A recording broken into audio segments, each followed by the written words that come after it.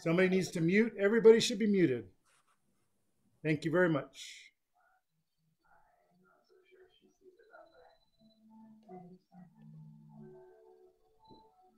All right, ladies and gentlemen, we are live on Facebook. We're going to give it just a couple minutes for folks to get online and be ready to go. Thank you for joining us here with the New Mexico Federation of Democratic Women. We are thrilled you are with us. It's going to be a great evening. We've got all the Democratic candidates from the 1st Congressional District and a lot of great women leaders who are leading the Democratic Party of New Mexico. So we're thrilled you're with us. We're going to give it just a minute. It's exactly six o'clock. We are thrilled you are joining us this evening. It is going to be quite a night. So sit back, Grab your beverage of choice, your bag of popcorn, and let's get ready to go.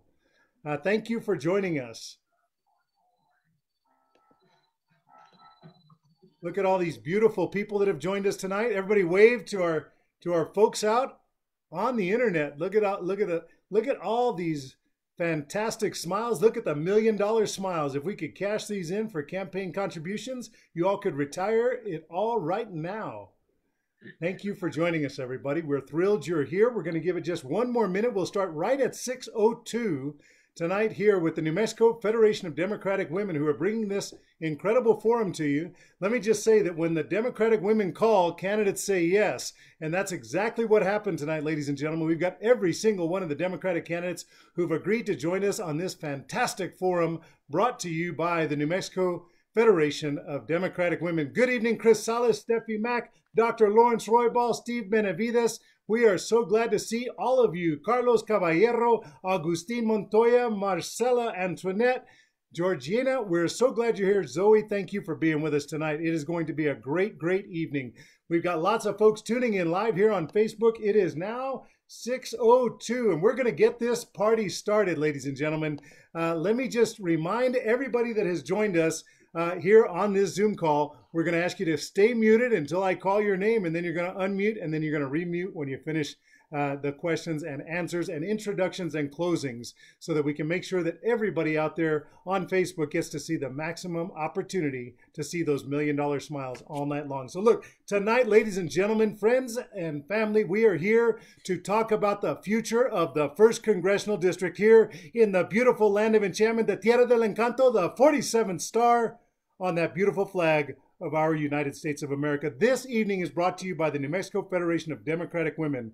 They have a strong vision of electing Democratic leaders at every level of government, whether it's the county, state, or national level. They're working hard for the future of our country. Their mission is to unite women of the Democratic Party of New Mexico and to fully participate in every level of Democratic Party politics. And they've brought this vision to you tonight.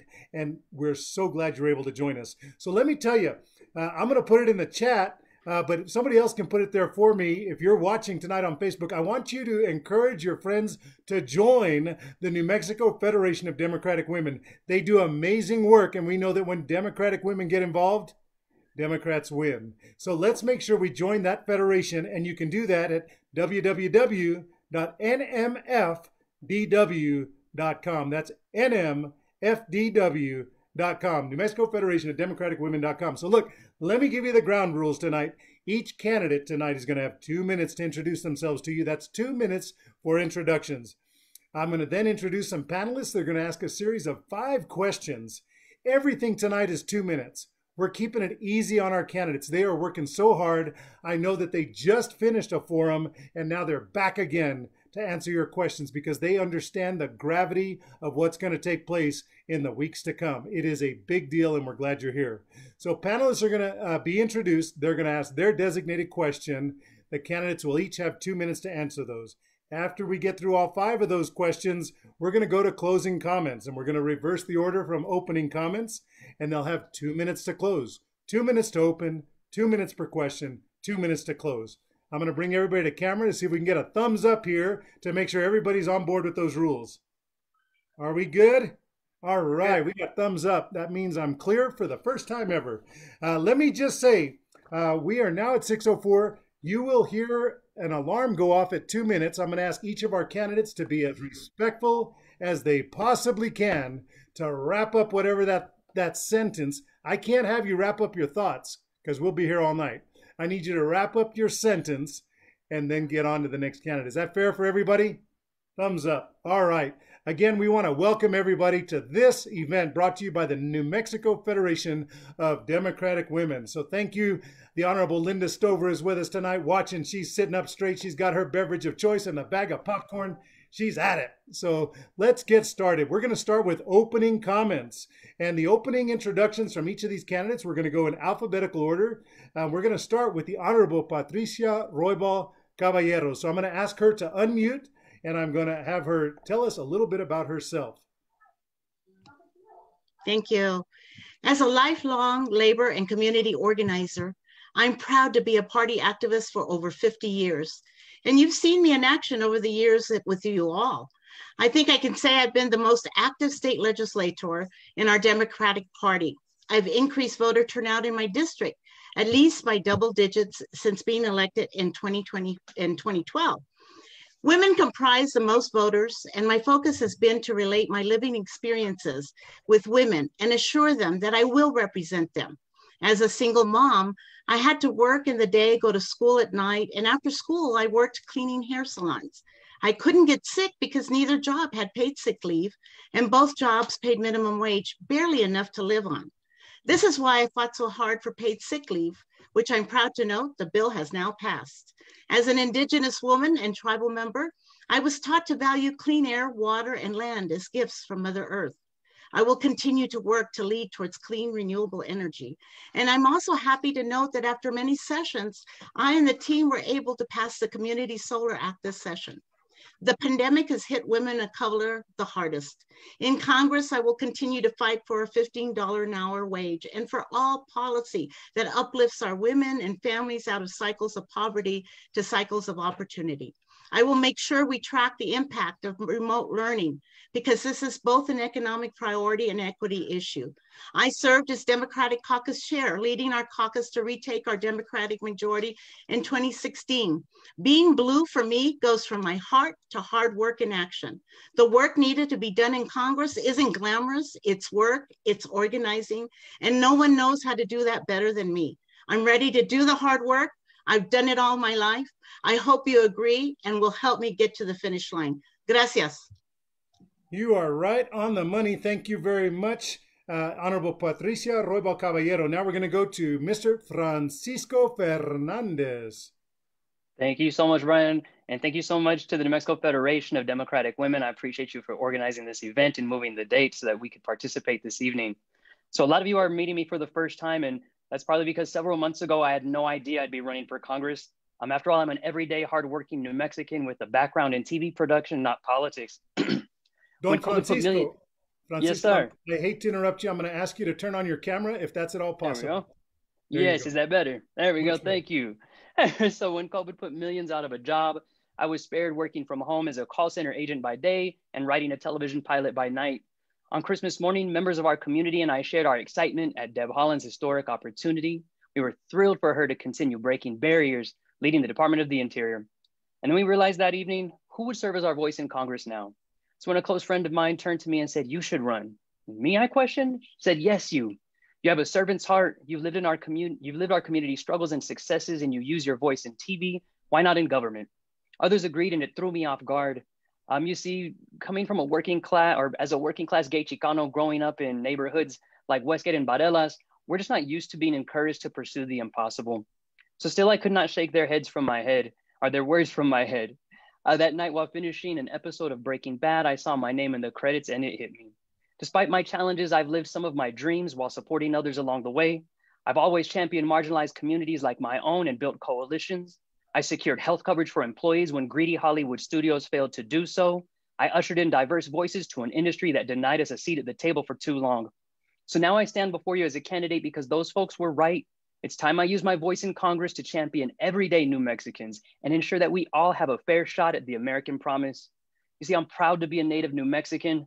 I love our blended people rooted in culture, tradition, and resilience, where hardworking families like mine build our communities. We are first responders, educators, and small business owners. We're also the working poor, the shelterless, struggling with pre existing conditions, addiction, and mental health illness. But I look out for all of us and Mother Earth because achieving the American promise requires more than hard work. It requires support and compassion from each Thank other and from a government that invests in people and our planet. Great job. Great job. Thank you, Francisco. And now we have community activist Selinda Guerrero. Selinda, take it away. Thank you so much for this space tonight and this great conversation. I am here today as my whole self, Selinda Guerrero. I am a mother, I am a grandmother, I'm an Afro Chicana, Indigenous, queer Black feminist. I am also a phenomenal community organizer, and I am proud to be every bit of all of these identities. This is an amazing opportunity we have right now to bring the voices of the working poor and those most affected by the pandemic to the decision making table. I have faced many of the same conditions that impacted my, many in my community. I was once, I was one of the first ones evicted this summer, despite there being a moratorium. My partner, Clifton White, has also became imprisoned because of our work for Black Lives. I am a community healer. My values are to lead with love and to stand in my courage. These ingrained values are integral to holding me accountable as we move our important work in Congress. I am deeply connected to my district, and I see my run for office as our run for office. We already have a lot of lawyers and corporate class representation in Congress, but democracy works when all of our voices are represented. Our people said that they need free health care, they need coverage, they need free education, and the removal of student debt. Free transportation because we know unemployment drops when we have access, affordable housing, and sustainable union jobs, a viable path to citizenship, freedom from state violence, and most of all, a respect for our humanity and a right to self determination. We can do all of this by caring for our animals, earth, land, air, and most of all, our water. That is what we are here to do. We're here to protect and to build. We are the people for Congress. Thank you. Thank you very much, Selinda Guerrero. Now we'll go right over to our state senator, the Honorable Antoinette Sedillo Lopez. Thank you. Thank you so much, Brian. Um, my family goes back in the state for 13 generations, but it's not just that. I also have many immigrants who have uh, in the family tree, and we would have lost our language, we would have lost our culture without that constant infusion of, of immigrants into our state. Um, I graduated from I was born here in Albuquerque, but I graduated from Belen High in, in uh, Valencia County, where I was raised in Los Chavez. I went to UNM and then I went to UCLA Law School. I then clerked for the DC Circuit at the time that Ruth Bader Ginsburg was there. I then came home. I raised my three children here in the, in the same uh, house um, that we've uh, lived in for 33 years. Um, and I also um, spent 27 years at the law school. After that, I felt a very strong pull to community. So I left the law school and I ran a domestic violence agency that served all, of course, but our target outreach was Latino immigrants.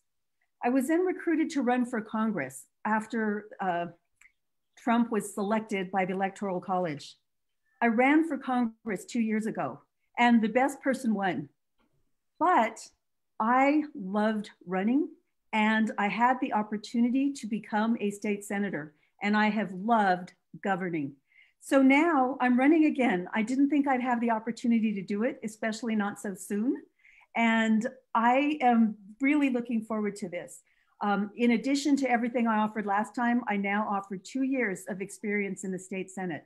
So thank you. Um, I look forward to this debate.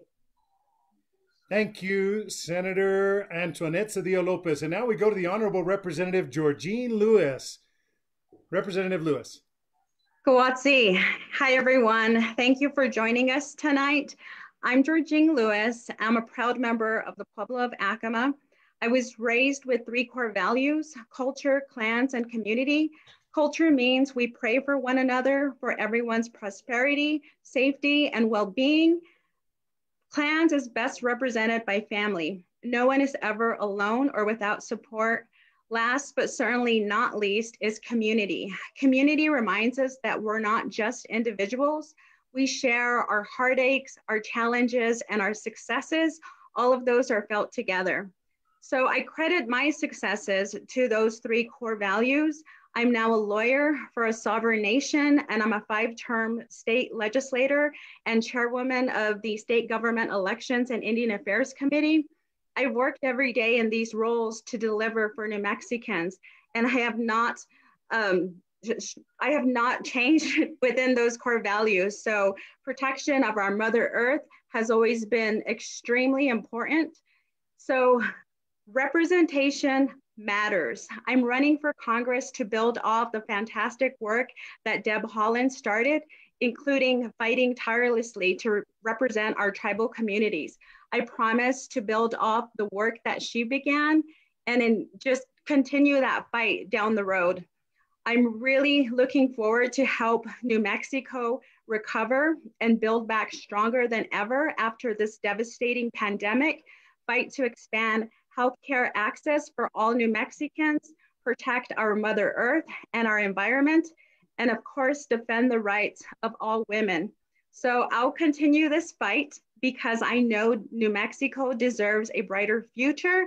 Um, look for our information on the website, georgine4nm.com. Thank you. Tawa. Thank you very much, Representative Georgene Louis. And now we go to Distinguished Attorney Randi McGinn. Thank you, Brian. It is so nice to be among friends uh, for this uh, forum, and thanks for having it. Um, those of you who know me know me as um, a lawyer for the past 40 years who's fought for women's rights and against discrimination and sexual violence of women, um, including most recently having organized 40 lawyers um, to, to volunteer to prosecute all the rapists they found when Tim Keller got a grant to test the 5,000 rape kits that had been sitting on a shelf for a decade. When I represent women in rape cases, one of the questions I always ask in the jury pool is I draw a line up on a chart and I ask the same question of men and the same, then the same question of women. And the question I ask is, what do you do as a man on a daily basis to keep from being raped? And after a lot of thinking, this side of the page is always blank. And when I ask the same question of the women jurors, what do you do on a daily basis to keep from being raped? Line after line after line.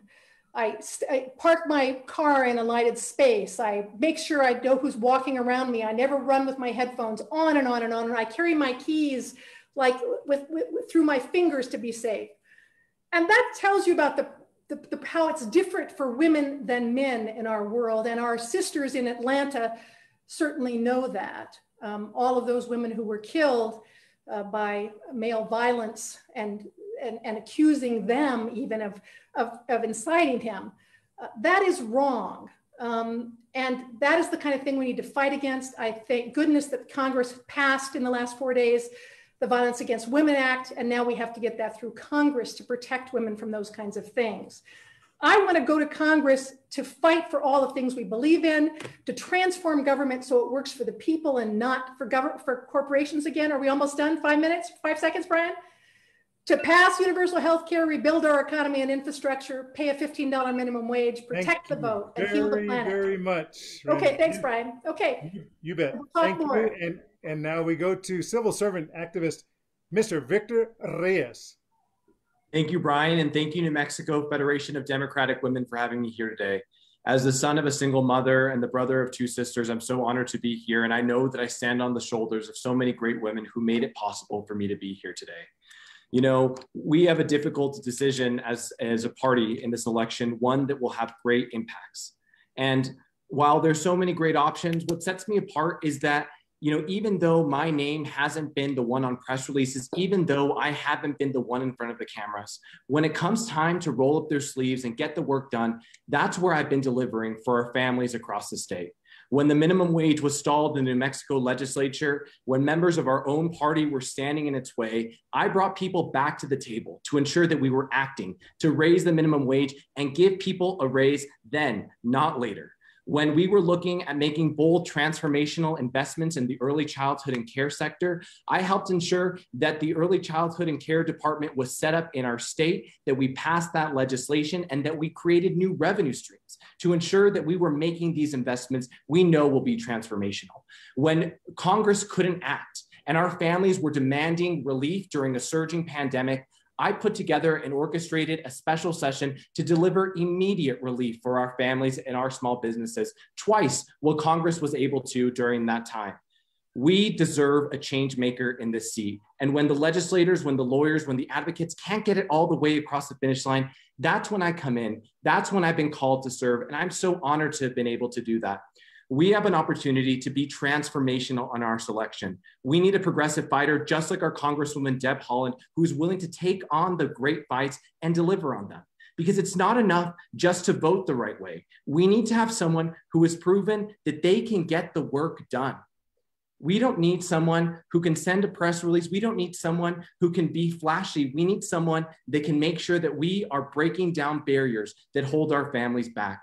I'm excited to be in this race and to be to be have the opportunity to serve as the youngest member of Congress in the Democratic caucus, the first LGBTQ member from New Mexico, and this type of representation is critical. We have an opportunity to make sure entire voices and generations are reflected.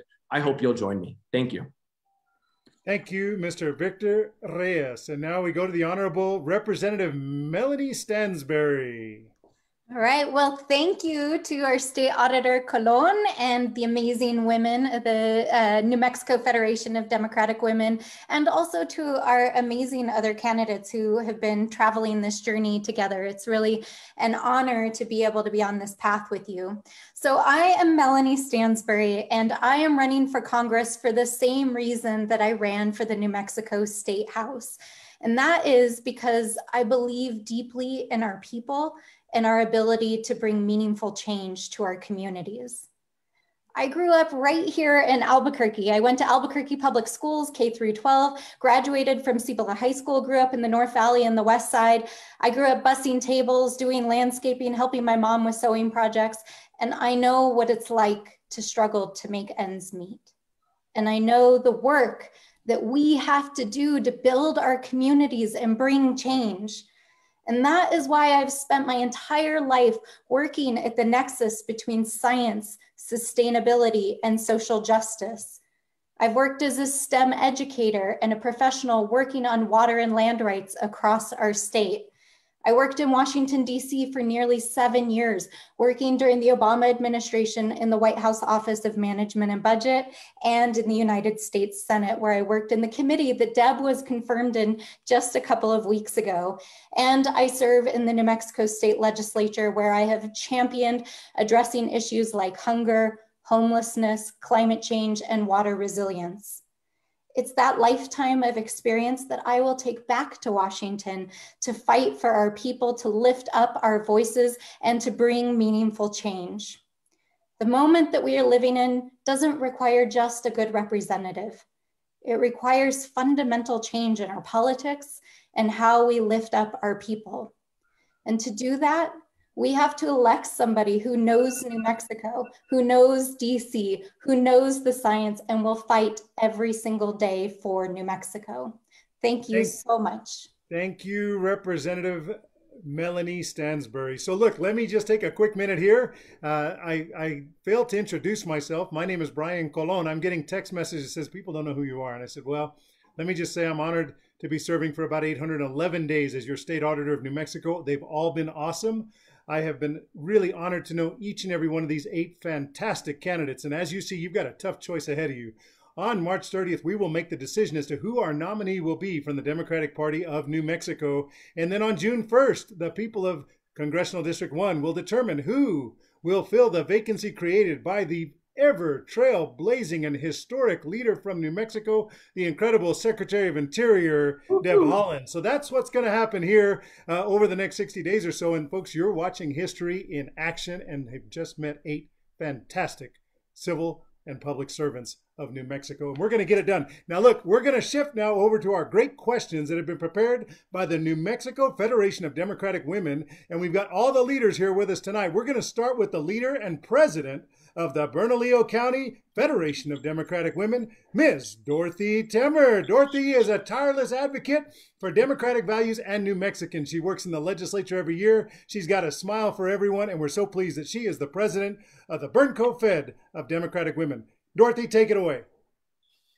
Thank you, Brian. And congratulations to all of you for putting your hat in the race. I, there's a lot of experience here, and I'm really excited. I think uh, we would win with pretty much all of you. Okay, pandemic related gender and racial disparities. According to a study by the National Women's Law Center, the impact of the COVID pandemic has been brutal for working women and catastrophic for women of color. In 2020, the unemployment rates for the adult Latina and Black women aged 20 and over was 9.1% and 8.4% compared to adult white male unemployment rate of 5.8%. Since February 2020, women have lost a net 5.4 million jobs, or 55% of the more than 9.8 million um, US jobs that have been lost because of COVID. Meanwhile, the crippling excuse me, the crippling burden of childcare and remote learning has been has fallen much more heavily to mothers.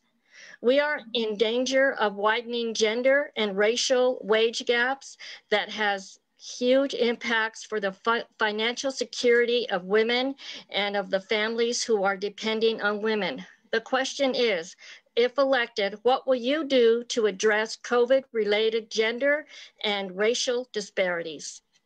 Thank you, President Dorothy Temmer. We're going to start this question. You've got two minutes. Everything tonight is two minutes, so it's easy to remember. We're going to start with Francisco Fernandez. Thank you, Dorothy.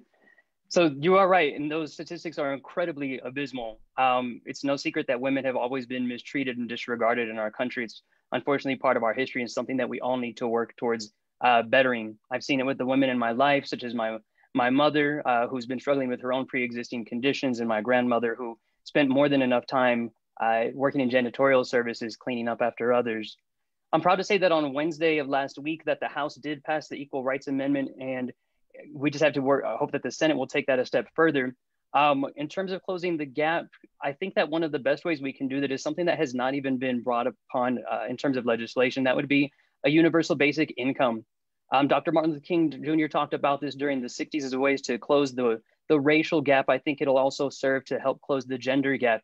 What we know is that when people are provided with a universal basic income, they have the opportunity to either reach out and take other opportunities that, that might be in a better job, a better chance for education. They're able to take time off to be with those uh, that may need them most. Um, I look at my mother who serves as a caretaker. Uh, for her, for instance, her being able to have at least some type of income in that regard would be so much more helpful. And um, we also have to look out for the fact that there are so many women who are uh, survivors of domestic violence, right? We need to make sure that the House also passes the, or uh, I guess actually just renewed the Violence of, of Women uh, Against Women Act, as I mentioned before. Um, but what we need to do is make sure that that is taken a step further, that the folks are guaranteed those protections, that folks are prosecuted for any types of acts that they commit. Um, additionally, I think we also need to look towards healthcare. Healthcare is a means that we know has seen too much discrimination. Quite frankly, when I look at living with HIV, for instance, Black women are the one demographic where this virus tends to target or, or increase the fastest and the highest. We know that it's because there is discrimination in medicine uh, in all levels, and we need to address that as well.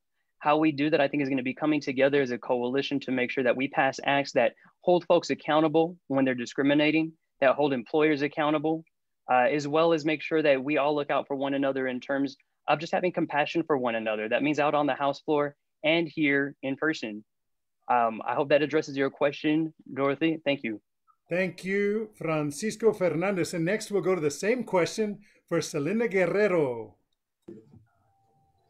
Thank you so much. I really appreciate this question as somebody who is an Afro-Latina and um, has had many of the experiences that, uh, that are being discussed. I'm a mama of six phenomenal young people. And many of those times that I was um, pregnant, I didn't have access to maternity leave. I didn't have access um, to support when, and often I went back to work with one of my children just after four weeks after giving birth because I was about to be evicted from my apartment because we did not have sustainable resources to support working mamas of color. So my priorities are very, this is very close to my heart. And I also am somebody who has had to sue under the Equal Pay Act, an employer for discriminatory practices where I was making $5 an hour less than the men that I was, that were working alongside me. So these are issues that are very close to my heart. I know that we have to um, create access to livable wages across the board and, and employment structures that respects our workers, gives paid sick leave and paternal leave, disability leave. Um, we need access to technical training and university and colleges. It has to be free and accessible and attainable. These benefits have to be included for all workers, especially those that are typically um, excluded, that are dominated by women, like tipped workers and uh, domestic workers. We must extend collective, extend collective bargaining and the right to unionize. And, um, and, and we have to end at will employment. Um, this is dangerous for communities like mine. We have to build a strong families infrastructure package by investing in the caregiving economy, public education, paid leave, and universal child care by providing equal pay, livable wages, and benefits to childcare, public education, and domestic workers. We believe that there is enough for everybody. We know that we can build these sustainable futures for us all. Thank you very much, Selinda Guerrero. Antoinette Sedillo Lopez.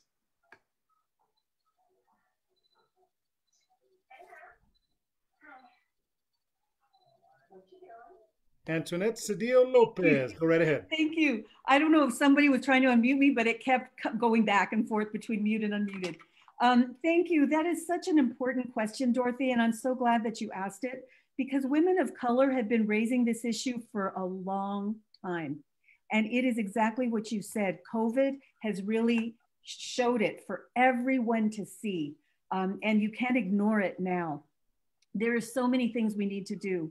Uh, paid family leave, for one thing, would make, make very would be very important. I was so proud that we were able to to pass paid sick leave um, in the legislature this year. That was just so important, and that is an important step. Um, closing the gender wage gap is something that we that just pass, passing a simple equal we equal pay act has not been enough. So we need to do more. Childcare. We need to have more support for childcare for working families and specifically for women. Um, the Family Act, which would provide for paid time off for up to 12 weeks for women, um, should be passed. We should talk about pregnancy discrimination. Um, there, you know, we do have a Pregnancy Discrimination Act, and I've written about that. And again, it's not enough. Why are these, these laws not enough for women of color? Because women of color face unique problems that white women don't. And what happens is, and I actually have a poem about this, you cannot see privilege unless you, um, you only notice privilege when you don't have it, I guess, is, is the point that I wanna make. And so I think it's really important for women of color to be at the table who was it that said when women of color aren't at the table they're for what's they're what's for dinner so thank you for uh, for answering that or asking that question. It's very important and something that i take very seriously. Thank you. Thank you antoinette Sedillo lopez. Now we're going to go to Georgene Louis. Thank you for not the question only, but also for providing the statistics too, because I think a lot of times we don't remember or we don't recognize that women of color face disparities all the time. And um, I was a single mom. I had my daughter when I was a sophomore in high school. And I have experienced these financial insecurities, these stereotypes, these um, challenges because of the color of my skin. And especially now with this pandemic, we need to ensure that things like this stop. Um, I come from a tribe that traditionally reser- reserves leadership roles for women. And this has taught me to look through a different lens, not a right or a wrong lens, but a different lens. That's my lens. And I think I bring that to all of the discussions when um, we're talking about what's happening, what decisions are we making, what outcomes are we looking for, how do we move women, people of color, our tribes, and everyone um, together so we can address these important issues. As a, a female Native American, you know, I think that not only do we need to have opportunities for jobs, for education, for um, healthcare, but we need to ensure basic things like clean water and wastewater is available. We're seeing this in New Mexico in 2021 when we're dealing with a pandemic, that we have some tribal communities that don't have access to clean water. So representation matters. We need to ensure that someone is knowledgeable on the issues about what it feels like to live in poverty, what it feels like for our families to live in poverty, and ensure that these discussions are brought to the table. Thank you. Thank you, Georgene Louis. And now to Randi McGinn. Thanks, Brian. And thank you for the question. You know, the world expects women to carry the whole world on their shoulders. And, and all of us who have kids have been there, right? Where, where you're having to juggle your job and your child um, and your spouse, um, and who always we're always feeling like we're shorting somebody and we're always feeling guilty. And in fact, the person that we short the most is us. And somebody once asked me how how can you as a woman have it all? And I said, well, you you can't unless you want to get no sleep. And that's the that's the life of all women with children. And it's and this pandemic has shown how broken that system is.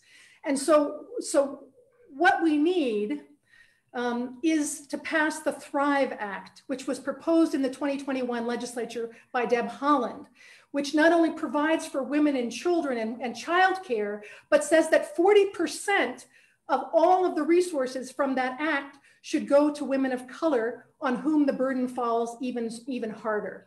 And, and in addition to that, I think we need something dramatic like what was done um, after the Great Depression, the, the civilian um, corps that was created because all the men were out of jobs and young men got, they created all these jobs for men.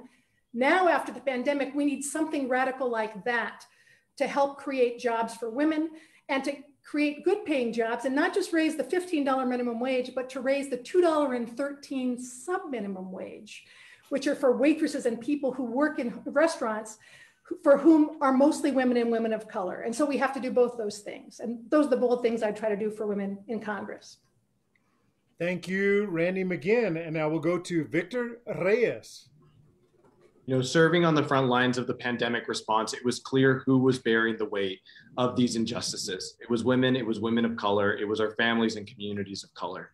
And that's why when I worked to pass the during the special session a comprehensive package that made sure that every single New Mexican on unemployment received $1,200 before the holiday season. It was because I knew that, that there were the faces of women who were going to benefit. When we looked to raise the minimum wage in 2019, we did it knowing that women are the, some of the primary earners of minimum wage earn, of minimum wage we need to make sure that in Congress, we are fighting for women in every single sector when we're talking about economic justice. That means fighting to raise the minimum wage and, and provide a system where we can make sure that everybody has a living wage, that no mother has to choose between putting food on the table or paying their light bills. But we also shouldn't make them choose between putting food on their table and looking after their children. We live in a state where quality childcare costs more than what tuition at the University of New Mexico costs, and there's no federal assistance when it comes to providing for childcare. We need to make sure that it is universal and that it is accessible and create the network to make that a possibility. We need to make sure that we are passing a national paid sick leave, ensuring that nobody who is sick, nobody who is facing symptoms has to go into work. We need to make sure that we are looking and providing paid family medical leave so that we are, we are showing our commitment to our families and to generations of women to come. We need to make it clear that women are our frontline workers in every single sector and make sure that that commitment rings true in everything we do, every single package of legislation. That is our responsibility. And when it comes to getting that work done, that is something that I've always looked to do. Thank you. Thank you, Victor Reyes. And now we'll go to Melanie Stansbury. Thank you, Mr. Colon. Um, and thank you, Dorothy, for sharing the statistics. I think it's clear that the pandemic has laid bare inequalities in race, gender, and economic inequality, and that women and people all across the gender spectrum, and including and especially transgender women, have shouldered the brunt of this pandemic. And so, how do we address these issues? We really have to address them from multiple angles. There's the immediate issues. How do we bring relief to families? How do we ensure that they have income, unemployment, um, access to childcare, um, that they have access to food? These are the immediate things that have to be included in a relief and recovery package. We have to address the structural issues that affect all women fair wages, pay, pay equity, a $15 minimum wage, paid sick leave, Medicare for all, equity in education. Um, but we have to address these structural inequalities that also um, happen for women of color. And that means addressing directly economic prosperity for women of color, ensuring that we are providing opportunities for people to build businesses, to lead, to grow, to be able to um, prosper in all environments. And we have to bring institutional change to our institutions. And the final thing that I'll say is that when women lead, women win. And that is why we need women elected to Congress. We need women elected to leadership positions within Congress. And we need women leading across all of our organizations and institutions, because the only one who's going to bring change is by having women representing ourselves in leadership roles. Thank you, Melanie Stansbury. Patricia Roybal Caballero. Gracias. And thank you, Dorothy, for the statistics and data. I will tell you that when uh, the pandemic broke, I spent a lot of time on the phone calling my constituents, and most of them were terrified women, single women, uh, mothers caught at home, terrified that one, they were told they could not go back to work. Uh, those that could keep one job, and some of them were working two jobs, were couldn't do it because they didn't have childcare and they didn't know what to do. And what the p- pandemic had did when I was speaking to these women was reminded me of my conversations with my mother about the depression and World War II. And my, my mother was a Rosie Riveter. She was brought back to help recover the economy.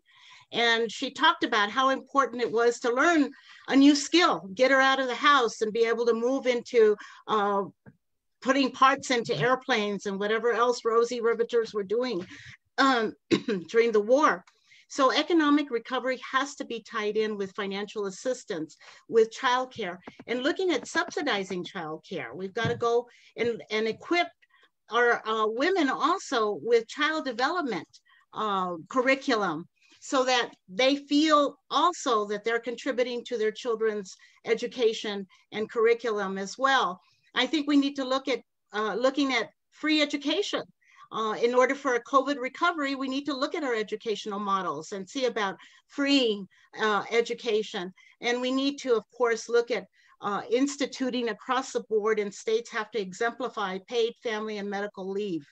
And I think also using the union model of apprenticeship uh, also would get women into the, the jobs and careers of their choice, whether that's technology, whether that's the trades. And yes, women want to go into the trades. So I would look at all of those aspects because we need long-term sustainable economic recovery. Thank, Thank you. you. Patricia Roybal Caballero. And now we're going to move to the second question. And I'm going to encourage our folks, you got about 125 to 150 people watching live on Facebook right now for the future of the 1st Congressional District.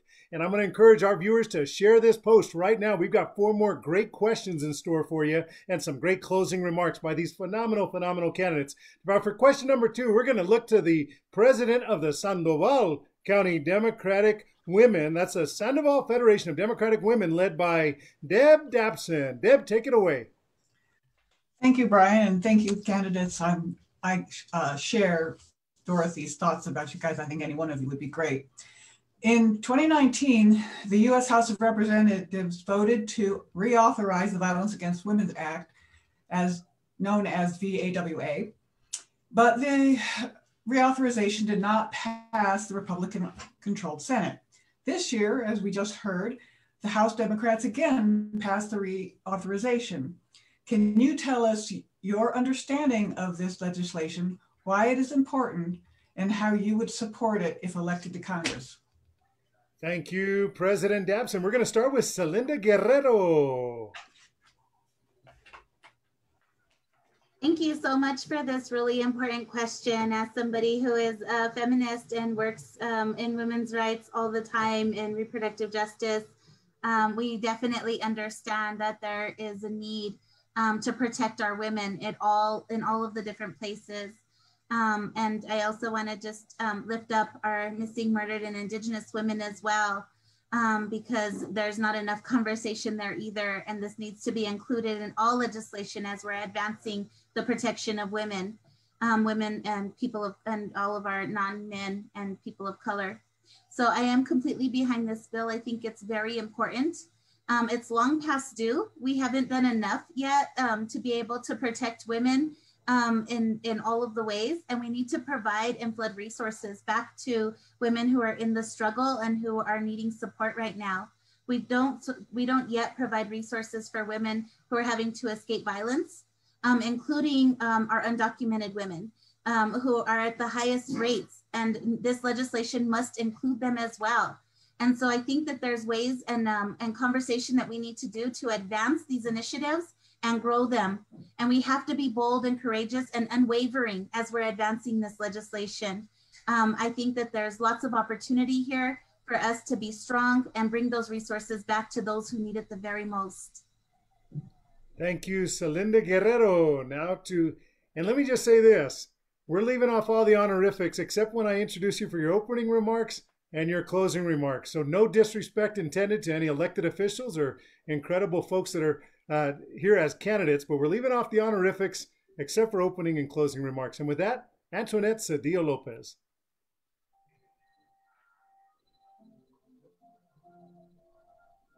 And Antoinette, you are the Here, thank you.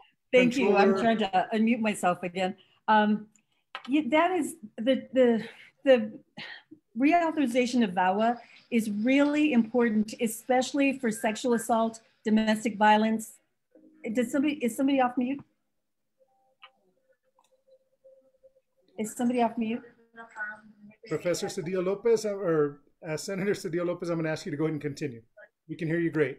Okay, I'm sorry. I heard, I, I was hearing some music and I, okay. Um, thank you so much. Um, so the Violence Against Women Act is a really important act because it's the source of funding for agencies like mine um, or like Enlace Comunitario was. It provides a lot of the funding and training. Um, it provides training for um, uh, uh, district attorneys from around the country, US attorneys. It provides training in, for agencies. It, it provides um, uh, it provides money to help with a lot of the indigenous, it, or at least the new one had money, um, and in large part because of Deb Haaland, for training to deal with uh, Native um, missing and uh, missing and murdered women. It also um, had a but it's, it's a very broad act. And the sad thing about not reauthorizing it is because it holds up increases that we need. And this particular act had jurisdictional issues dealing with the jurisdictional problems on, on native lands. And so every time they fail to reauthorize it is more and more time that we fail to address critical women, critical issues facing women. So I'm, I was very disappointed that they didn't reauthorize it the last time. And I'm very hopeful with the new composition of the Senate that, we, that it will go through. And it is an act that has grown in importance over time since its first, first reauthorization or first initiation um, I wonder why it, co it constantly needs to be reauthorized. And so I want to look into why do we always have to come back to the table and and and keep doing it every couple of years. So that's my understanding of it. Thank you very much, Antoinette Sedillo Lopez. Now we're going to go to Georgene Louis.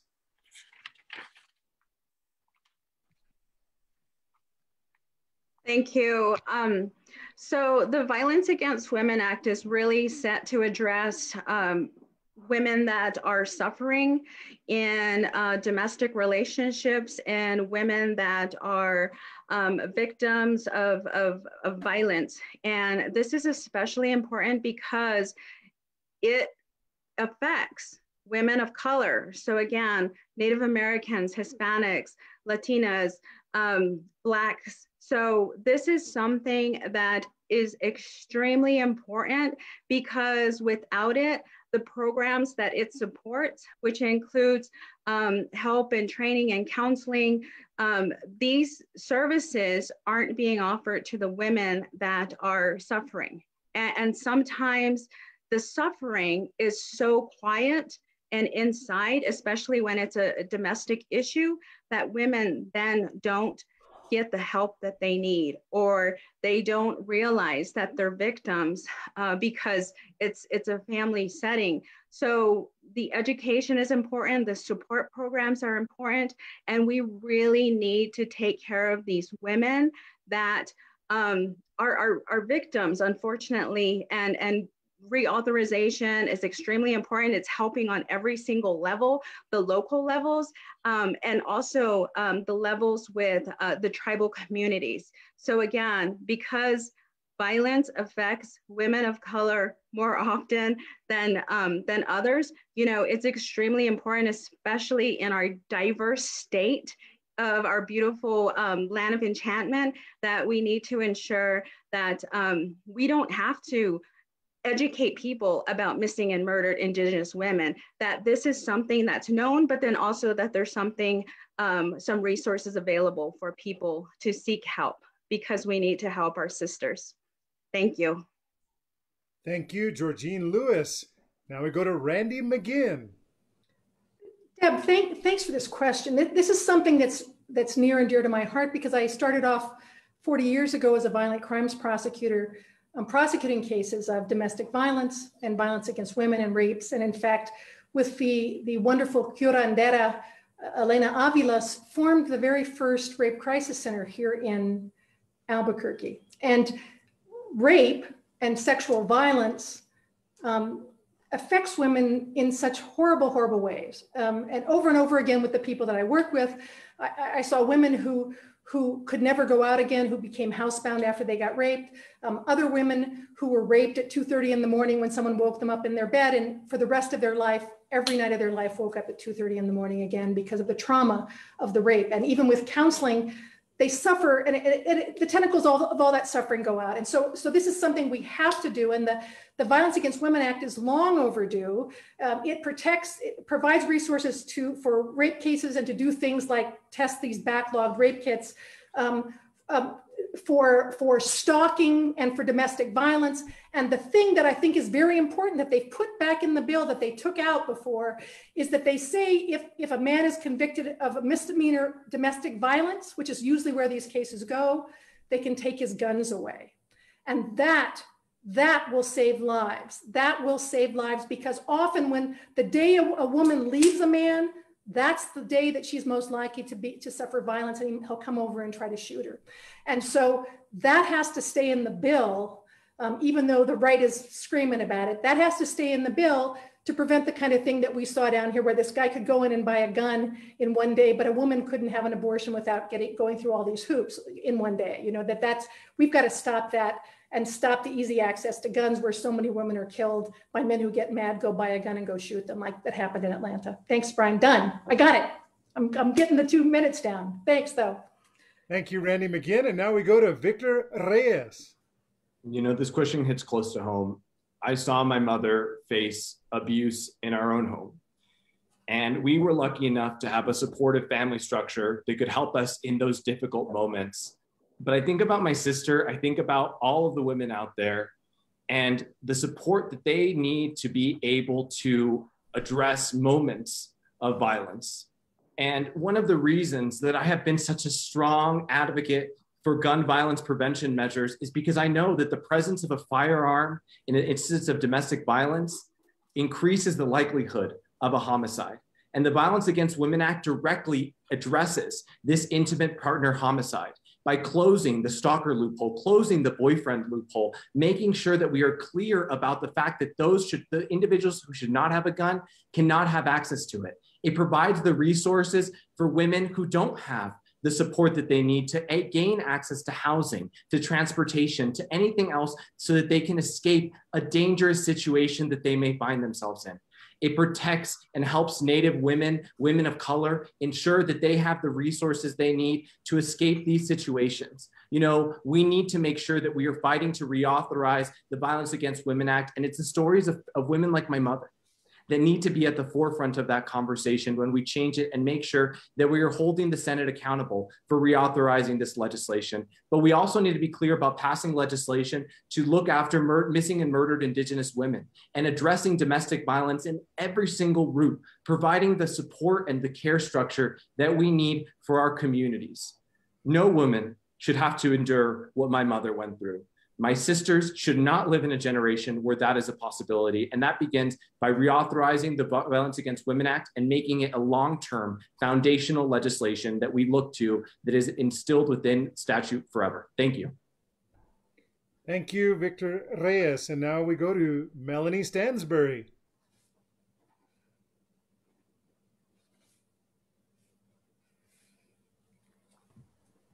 Thank you, um, State Auditor. You know, every nine seconds in the United States, a woman becomes a victim of violence in her home. That means the vast majority of women in our country are facing violence within their home or by a partner. The Violence Against Women Act was authorized in 1994 by then Senator Biden was a champion in the United States Senate, now our president, because we needed tools to address systemic violence that affected women across all sectors of our society, to be able to provide prosecution, restitution, to ensure that there were tools and resources available to women.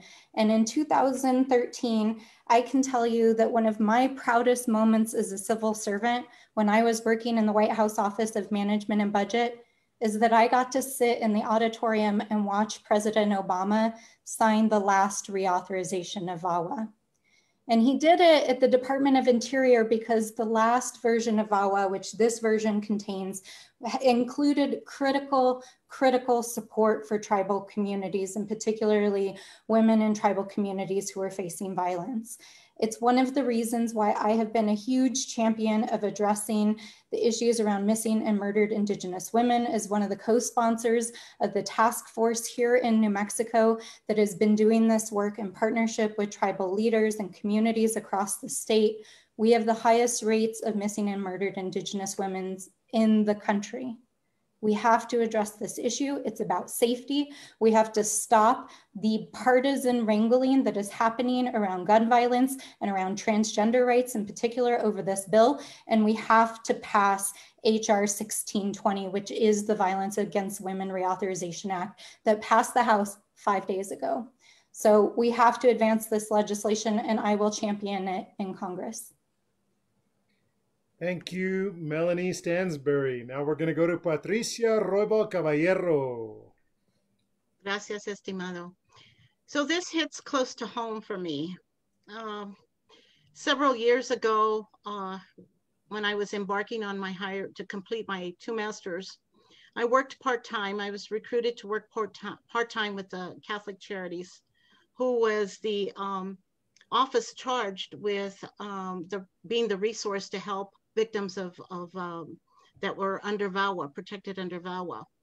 And it was very difficult, not for me, but it was difficult uh, to be able to understand why we were having a tremendous amount of lack of resources. There were there was very few funding. I was only able to help on a part-time basis when there was a huge load. There were no attorneys, one attorney full-time to help the entire state of New Mexico the entire state of New Mexico. And the other thing that I found out, and I always espouse to this premise, that the victims are not always subject to domestic violence. These are women that are subjected to victim as victims of sex trafficking, of um, of all types of violations, and they were difficult to talk about. And I was speaking Spanish, so I had to handle a lot of the Spanish uh, clients, and they were embarrassed because of cultural uh, cultural issues and other types of issues and very embarrassed to talk about what they were being subjected to. But had I not been there to help them walk through and document their particular circumstances, I would never have known that it wasn't just due to domestic violence. They were being subject to these horrific actions. And one of the things that I found out in my most recent research is that this particular version of the House version does not include those protections and measures to help deter sex trafficking and other child um, uh, uh, related issues and violations, and especially to child mar marriages. Thank so you I will do much. that. Thank you. Patricia Roybal Caballero, thank you. Now we go to Francisco Fernandez. Thank you, Brian, and thank you, Deb. Uh, two women come to mind when you had brought up the reauthorization of the Violence Against Women Act.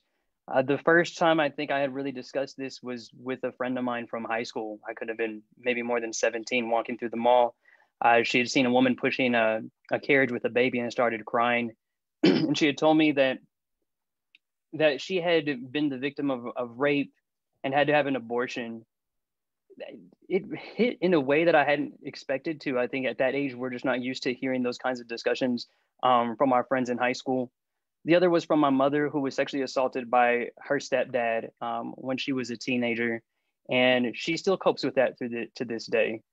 What I appreciate about this act is that it finally provides more funding for culturally specific services, um, which is important for people of color, right? We know that not all education or and programs that are, are targeted towards this work because they're not culturally sensitive. Um, as folks mentioned that there is more uh, tribal jurisdiction, which we also know is, is gonna certainly uplift those who have been victims of domestic violence or, or, or sexual assault on tribal lands. Um, one thing that I do wish that it had, excuse me, taken into account was was immigrants. Uh, this particular act does not take into account immigrants. And when I think about the sheer number of women who have been sexually assaulted while being um, illegally detained, to put to put it simply, uh, for just trying to seek a better life. Those folks don't have a voice in this bill. It's important that they do. Um, one thing that I do appreciate about it, at least from my understanding, is that this bill also does not discriminate based on gender. So that's great for folks in our transgender communities uh, people who consider themselves non-binary or cisgender, because at the end of the day, there are many folks who are victims or, or survivors of this type of behavior.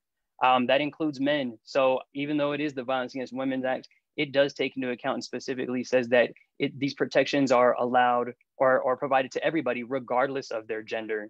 Um, that's important to, and I think that's it. Thank you. Thank you, Francisco Fernandez. And now we're going to go to our next question. Remember, folks that are out there, about 120 people, make sure you share this right now. You're here in the future of the 1st Congressional District right now, tonight, thanks to the New Mexico Federation of Democratic Women. Question number three is going to be brought to you by another great woman who leads in the state of New Mexico with the New Mexico Federation of Democratic Women. She is the president of the Valencia County, my home county, Valencia County Federation of Democratic Women. I'm going to ask her to turn on her camera. I'm going to ask her to unmute. I'm going to ask her to deliver question number three. President Lorraine Espinosa. Thank you, Brian. Can you hear me? Perfectly. Okay. It's great to see you tonight and thank you for helping us present this tonight. Uh, I also want to thank all the candidates for running for, for CD1. Uh, my question is Child Care for Working Families Act. Across the country, too many families are struggling with finding and affording high quality early learning and care that will help their children thrive. The cost of child care has increased by 25% in the past decade, forcing many parents to choose between paying for child care leaving workforce altogether. The Child Care for Working Families Act would address the current early learning and care crisis. Please share your knowledge about the act and what efforts you would make in support of this if elected to Congress. Thank you, Madam President Lorraine Espinosa. And this question, number three, we're going to start with Antoinette Sedillo Lopez. Thank, thank you, Brian. Um, I'm so happy that you're asking this question. And Lorraine, congratulations on being the, the president. I, I don't know if you knew, I was a founding member of the, of the Valencia County Federation of Democratic Women. So it's great to see you in that, in that role.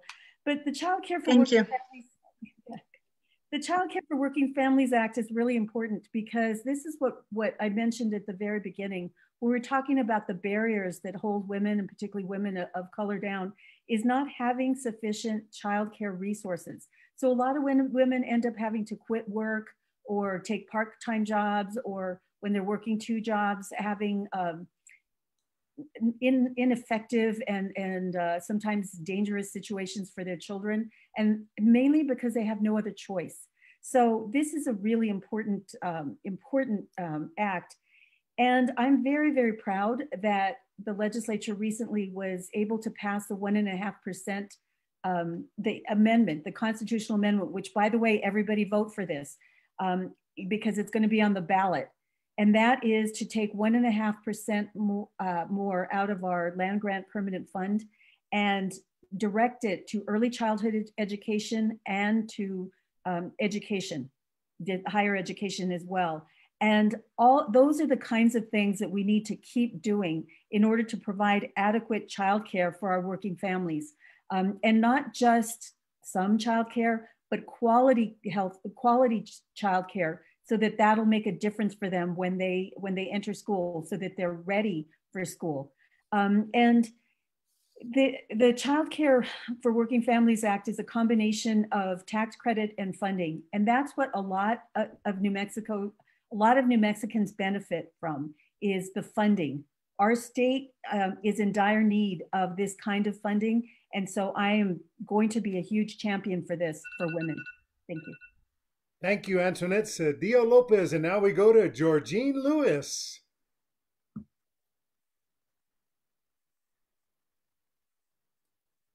Georgene Louis is going to unmute and take it away. Sorry, thank you about that. Um, or thank you for the question. Sorry about that. Um, so this is actually really important to our families here in New Mexico. You know, fortunately, when um, I had my daughter, I had my mom to take care of her during the day while I continued to go to high school and, and even during undergrad. Um, so that was really important that I didn't have to worry about paying for the extreme high cost of childcare, but also the safety and well-being of my daughter. I think that's really important. So with the, and I think this act serves that purpose to ensure that um, women with children are able to succeed. Um, especially, you know, low to moderate income families uh, with kids that, ha- or excuse me, with families that have um, multiple kids too. I can't imagine how difficult it would be to pay for childcare. So it helps in that um, childcare regard and, and putting kids in, in safe caregiving environments, but also for um, the Head Start programs which are extremely important to ensure that kids do receive um, early education intervention to help. And I too am so glad we uh, passed House Joint Resolution, House Joint Resolution 1. And I do encourage everyone to please, please vote for that. That's extremely important.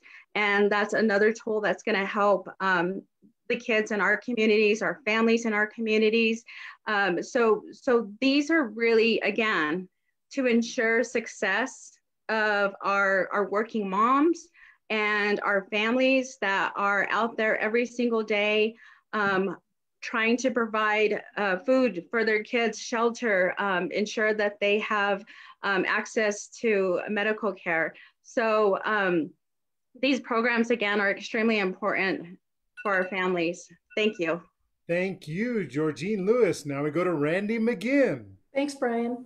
Lorraine, thank you for the question. It reminds me of when I was um, working my way through school as a waitress at Chelsea Street Pub.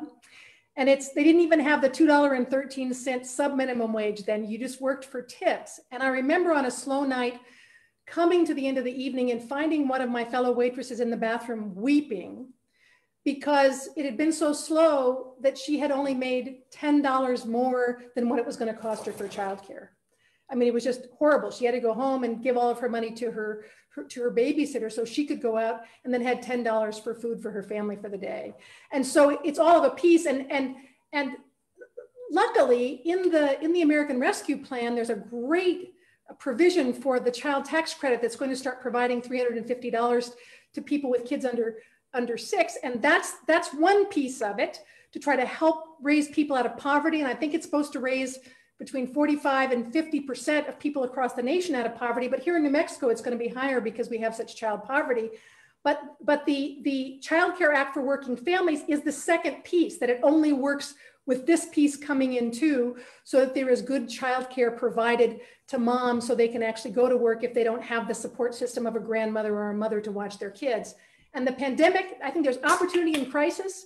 We've seen how broken the system is in the pandemic for all these women who had to leave the workforce and go home because there wasn't any good childcare. And I think we have an opportunity to finally get this passed. I think it's, I think, I think we we can get there because people now understand how difficult it is um, when, when you, when you have no childcare, you can't go to work. So I think we've got a good chance at it this time. Thank you, Randi McGinn. And now we go to Victor Reyes. I'll never forget the feelings and the tears that I heard on the phone when there were individuals who would call the governor's office and talk to us about the fact that they were frontline workers. They were people who needed to go into work to make sure that we could continue, that our communities can continue to run. But they but they couldn't because they couldn't afford childcare and there was no one else to help look after their kids or educate their kids during this pandemic. I think the fight for universal childcare is the one of the key economic justice fights that we are looking to face. That's why I'm so proud of the work that I did at the state level to help establish the early childhood and care department, making sure that we're creating the early childhood trust fund, providing new revenues and looking for every single dollar that we could provide to make sure that we were recruiting and retaining high quality childcare, uh, childcare professionals, early childhood professionals into our state. You know, we need to make sure that we are passing legislation to provide for this universal childcare at the federal level.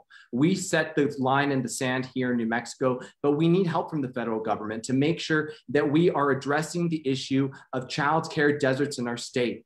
There's such a lack of access in so many communities in this district, in the state, and that means that we need to set up the networks to make sure that that is a reality. We need to make sure that we are making the investments in recruiting and retaining high quality childcare professionals that currently we are missing in our state. We need to make sure that we are supporting the work of current childcare professionals in the work that they do.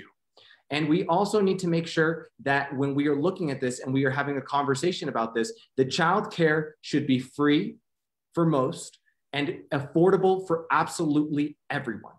That is a premise that we must not lose ground on and something that I'm going to hold strong on in Congress and make sure we get across the finish line. Thank you. Thank you, Victor Reyes. And now we go to Melanie Stansbury. Thank you so much for this question, Lorraine and um, State Auditor. You know, this is a social justice issue, it's an economic justice issue, justice issue, and it's an economic issue. What we know, based on some of the statistics that Dorothy read earlier, is that this pandemic has had an undue impact on working women. And in fact, the largest loss to our economy was working women because they had to stay home and care for their children and attend to their education. So we know that when we invest in early childhood care and education, that it raises up women, it diversifies and grows our economy, and it's critical to the well-being of our children. And I wanna just take a moment, a number of people have um, called tonight out the passing of HJR1, which um, Representative Moe Maestas in particular and Representative um, Javier Martinez have championed for years for a decade, in fact.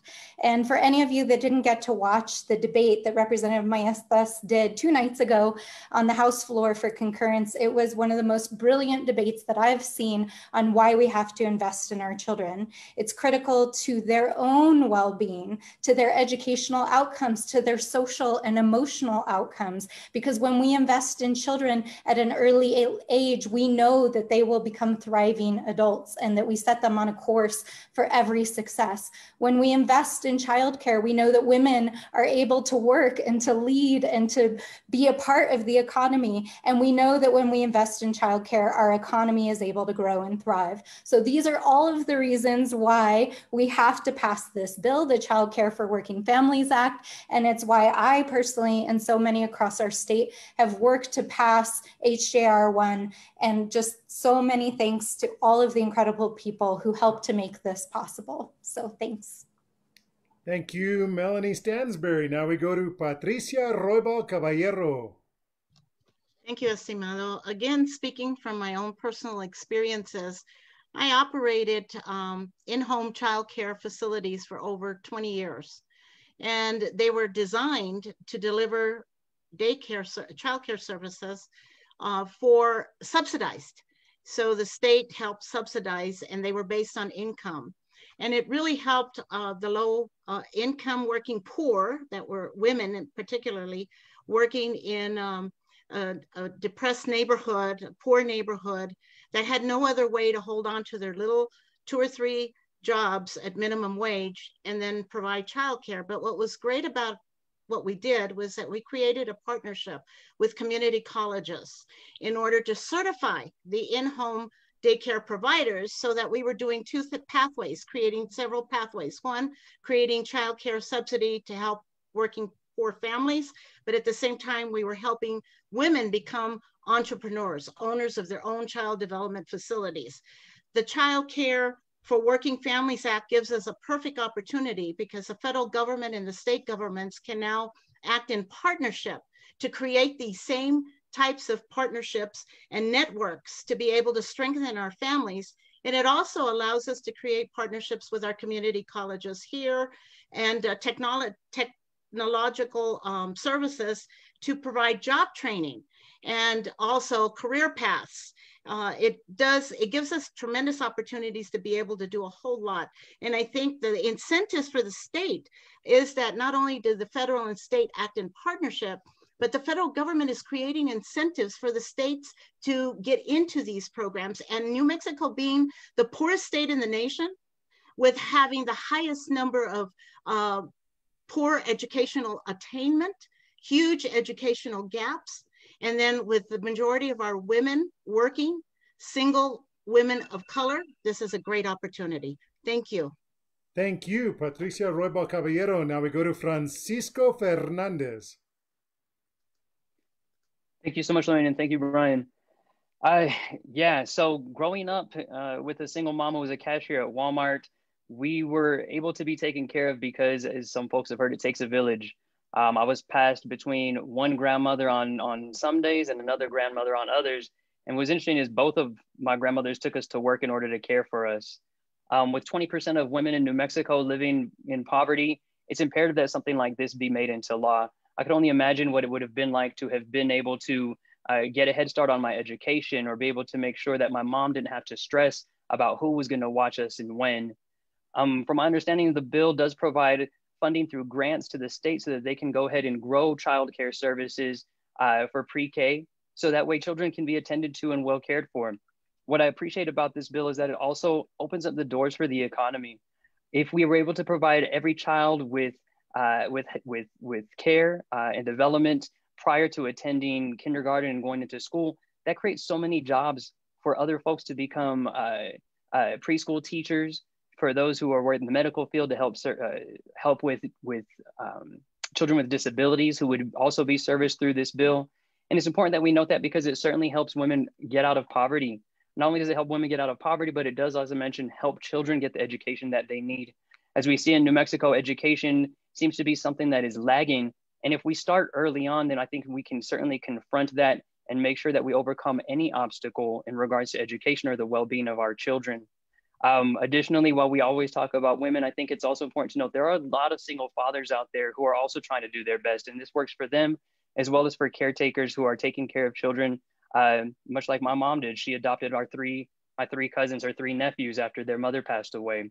So I look forward to seeing how this program moves forward. More importantly, I hope that it clears the Senate because as we've seen too often, the Senate seems to put up too many barriers when it comes to programs like this that really have the ability to uplift our children, and it should uplift our children. Thank you. Thank you, Francisco Fernandez. Now we go to Selinda Guerrero. Thank you so much for this question. Um, as I understand the act, it's going to build off of the existing um, ch child care uh, assistance programs that um, are already in place and expand them by 13 times um, the access. But it also puts it in states' control to be able to help manage those resources. And I was somebody who benefited from early childhood. I went to Mariposa uh, preschool on Mountain Road in Martinez Town when I was young, and I, I recognize and understand the importance. I know that it helped me um, when my mom was working 40 and 50 hours a week at Kmart on Atrisco. So uh, I recognize that. And I also am a mother of six who has had to navigate these um, systems and structures. So the thing I appreciate about this bill is the investment in the caregiving economy because that is where we really have to invest. As somebody who has had to seek out quality care for my children, especially when I was working odd um, jobs that were had odd hours in the evenings or weekends, early mornings, it was really hard to find childcare that was quality that I could trust. And so our investment in the caregiving economy will boost access for everybody. And so now that we are receiving this investment to the state, we have to be thoughtful about the way that we're making these investments in New Mexico and the way we're building out this uh, caregiving economy and also to provide access across all of the spectrum. The other thing that has to be easier that the state will have control over now is for us to be able to have an easier process for applying for these services and these and this assistance.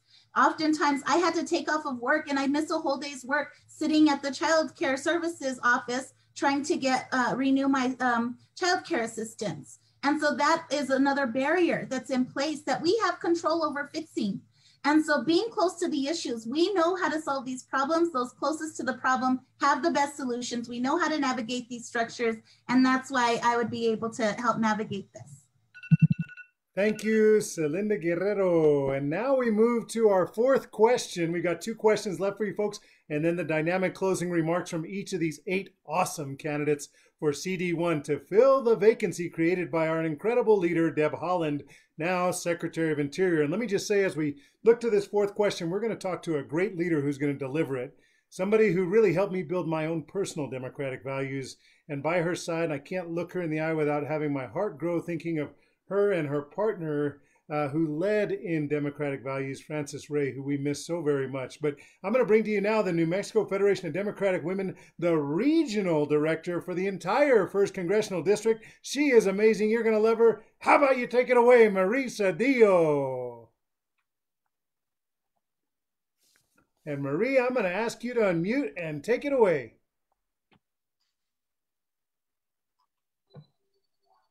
There you are. You're on the air live. Thank you, Brian. I, I could call you honorable sweetheart, but we're online, so I better not. Thank you, everyone. I'm glad to be here. I'm glad to be a part of this. I'd like to thank the candidates for being here, all of you for your time, for your sacrifice, for your work. Uh, it's a big job to take on, and we appreciate it my question statement is to for you to please tell us your involvement with the Democratic Party of New Mexico on a county and local and state level. And what are the some of the grassroots efforts that you have been involved in yourself to promote the party platform and New Mexico Federation of Democratic Women? All right. Thank you, Madam Regional Director, the incredible Marie Cedillo. And this question, we got a big thumbs up. We're going to start out with this question number four, going to Georgene Louis. Thank you. I was trying to set my timer last time and now I'm just, so just shoot me a hand. But I, I think that's extremely important. And Unfortunately, with the legislature, we are not paid. We haven't been a professionalized legislator, you know, legislature. So it, it's really hard because representation matters, but without having our legislature paid, it really limits the amount of people that can afford to take off from work for 30 days or 60 days, and then the interim committees. So this is extremely important that um, we note. And throughout my years uh, in the legislature, you know, it's a tough balance. It's a tough balance trying to be a lawyer, a single income, and and and really ensure that those um, that, that, that, we meet the needs of our constituents. But um, also at the same time, you know, my involvement includes um, encouraging and mentoring women to run for office. I've been trying to get Native Americans excited about running for office, um, especially in, in paid positions, but at every level because representation matters.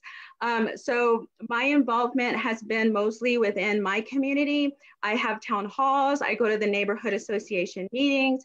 Um, I try to register people to vote and learn about the issues. And um, I hope that when they see me, when they see, you know, a semi-young woman that's a Native American participating in the process that usually shuts doors on us or uh, makes it difficult for us to attend. These are things that we need to be involved in. And so um, I'm super fortunate that my constituents um, have had my back. They are um, working with me for National Night Outs, um, for other things within our community. Thank you. Thank you, Georgene Louis. And now we're going to go to Randi McGinn. Thanks, Brian. Um, Marie, thank you for the question. You know, I've been involved in Democratic politics all my life, but I have a gap in my resume. And the gap um, is a 12 year gap when my husband and the love of my life was on the Supreme Court. And the ethical rules for Supreme Court justices say that they can't be involved in party politics, nor can their spouses, which I always thought was sort of anti feminist. And so as soon as he got on the bench, I went up there to find out what I could do and what I couldn't do. And they said, you, you can't even sign somebody's petition because if the appeal comes up to him, they're going to have to recuse off his case. So even when my friends would bring me petitions to run for office, I'd say, you have to pick. Do you want my signature or do you want my husband on your appeal for, for the election challenge? And they always picked, they wanted my husband on the appeal because he was a great Supreme Court justice. Um, and so so before that, let me tell you, before that 12 year gap, um, I did lots and lots for the Democratic Party. I was always there for election protection at the union at the union halls, you know, whenever elections were on to protect the vote. I was involved in lawsuits involving redistricting and also this big lawsuit that we had about 10 years ago where they tried to, it was longer than 10 because it was before Charlie was on the court, where they were trying to restrict voting rights. And, and I was part of the team that proved there was no voter fraud in the state of New Mexico. And so we didn't get this put in 13, 14 years ago because of that defense. And, and I will say, because I understand you've lost the love of your life too, um, after my husband died, there was a year that I wasn't involved because I was recovering from that. But but I have gotten re-involved and been involved in party politics ever since, and in, including calling into Georgia to make sure that Reverend Warnock and Jon Ossoff won, and being involved in those kinds of turning out the vote efforts. And so, so the the, the one thing is, is that now I'm back involved. Thanks, Brian. And, and so thanks for the question, but that's thanks. And thanks for letting me exp- explain the 12 year gap that they wouldn't let me do stuff in. So very Thank frustrating. you, Randi McGinn. Yeah. Thank you so much. And then now we go to Victor Reyes. Victor. I'm proud to be part of a party who advocates to protect our air, land, and water for workers' rights, for women's reproductive rights. And I've been at the front lines of making sure that who we elect, recognizing that who we elect matters. When I was the legislative and political director of Conservation Voters New Mexico, in addition to defeating the, all of the anti environmental legislation in the 2015 legislative session, I also helped protect uh, incumbent legislators who were standing in support of our air, land, and water in the state legislature and led them through their largest election cycle to date. As the, as the campaigns director for Progress Now New Mexico, I worked with a coalition of women, family, and community members to relaunch the Respect New Mexico Women campaign and that helped to defeat the, the, the 1969 abortion ban that was on our books this year. But we also worked to make sure that we were standing up for progressive candidates and causes and making sure that they had the tools necessary to stand strong and hold the lines to protect workers' rights, making sure that our educators had a voice in every single hall of power. I'm very proud to help help elect the first Democratic Latina governor in this country with Michelle Lujan Grisham, who has helped make sure that we have been able to endure this pandemic and bring about some of the most monumental change in our state. And I was proud to serve as her deputy campaign manager, as her um, as her uh, assistant transition director and as her legislative director, helping her pass the key legislation across the finish line. At the local level, I've been engaged with groups like the, uh, the New Mexico Federation of Democratic Women, stalwarts like Pam Cordova, Beverly Michaels, so many great women, making sure that we are standing strong against individuals who are perpetrating a rhetoric of gun violence, perpetrating a rhetoric that is anti community, anti women. And I'm proud to have stood along with them. I'm proud to serve as a precinct chair. I'm proud to have served as previously as a member of the state central committee. And I'm proud to represent the values that we hold as Democrats each and every single day. Thank you. Thank you, Victor Reyes. And now we'll go to Melanie Stansbury. Thank you, Auditor. Okay, I love this question because I live for organizing and working with people in the party in our precincts at the grassroots level. So I have worked at both the local, the national, and at the state level. And I want to just tell you all a little bit about how we flipped House District 28 in the Northeast Heights, which had never had a Democrat or a woman represented until 2018 when we flipped this seat for the first time ever. And people told me this seat could never be won. Even on the day of the election, people were saying, ah, you know, that seat will never flip. And we won this seat by seven points in 2018, and we held it by 10 points this election cycle. And the way that we did that is that we recruited, trained, empowered, and gave tools to people across our community, all ages, all different parts of the community, and said to our community leaders, we want you to be a part of this movement. We want you to be a part of this campaign. We want you to help us transform the Northeast Heights. And you know what? We did. And the way you do that is by inspiring people, by living your values. That's why our campaign is hiring local, we employ local people. We are the only unionized campaign in this race. It's why we're building the Democratic Party. We're working with Flora and others across the district to recruit talent in our precincts and wards and getting people involved and excited about the process. And that is how we are going to win this race. We're going to win in the fall in the mayoral race. And it's how we're going to win up and down the ballot in 2022. And that's why we want to work with all of you to ensure that we get all of these amazing Democratic candidates elected. So thank you. Thank you, Melanie Stansbury. And now we'll go to Patricia Roybal Caballero. Thank you. And this is a great question because I've seen many of you dynamic women many of the years uh, as we've crossed paths in uh, our democratic work. I, I'm a grassroots organizer. So as a grassroots organizer, I start from the premise of working at the base.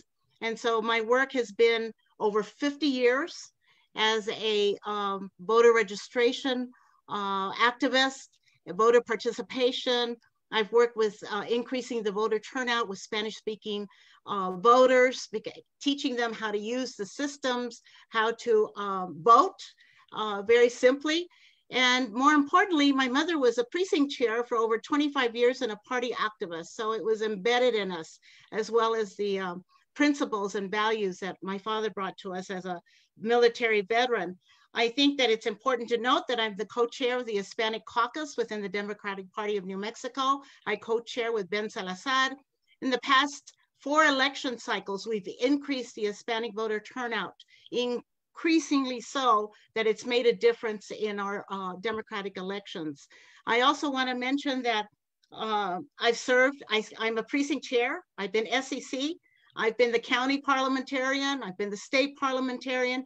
There's not, I've been on the rules committee, the resolutions committee, the platform committee. I've done every single aspect, I've served every single aspect of the Democratic Party because it's important to me for our platform to reflect our constituencies, but it's even more important as a state representative, as an elected, for me to represent the party platform. And that's why taking the time and effort as a volunteer to participate in all these processes is so very important because this is what representative and participatory democracy is all about. Thank you, Patricia Roybal Caballero. Now we go to Francisco Fernandez. Thank you, Brian, and thank you, Marie, for the question. Um, it's a little bit challenging for me. So my my background and my profession is in television production, which tends to take me to multiple states. Um, I've worked in Georgia, Louisiana, and California. Now the good news is that regardless of where I am, I, I'm always supporting our democratic ideals and, and our party. Uh, when I was in New Orleans and we had the devastating blow for Al Gore's loss, that was my first real wake up call. I was 18 at the time. So that involved getting organized with the Democrats at Loyola University, where I was at at the time.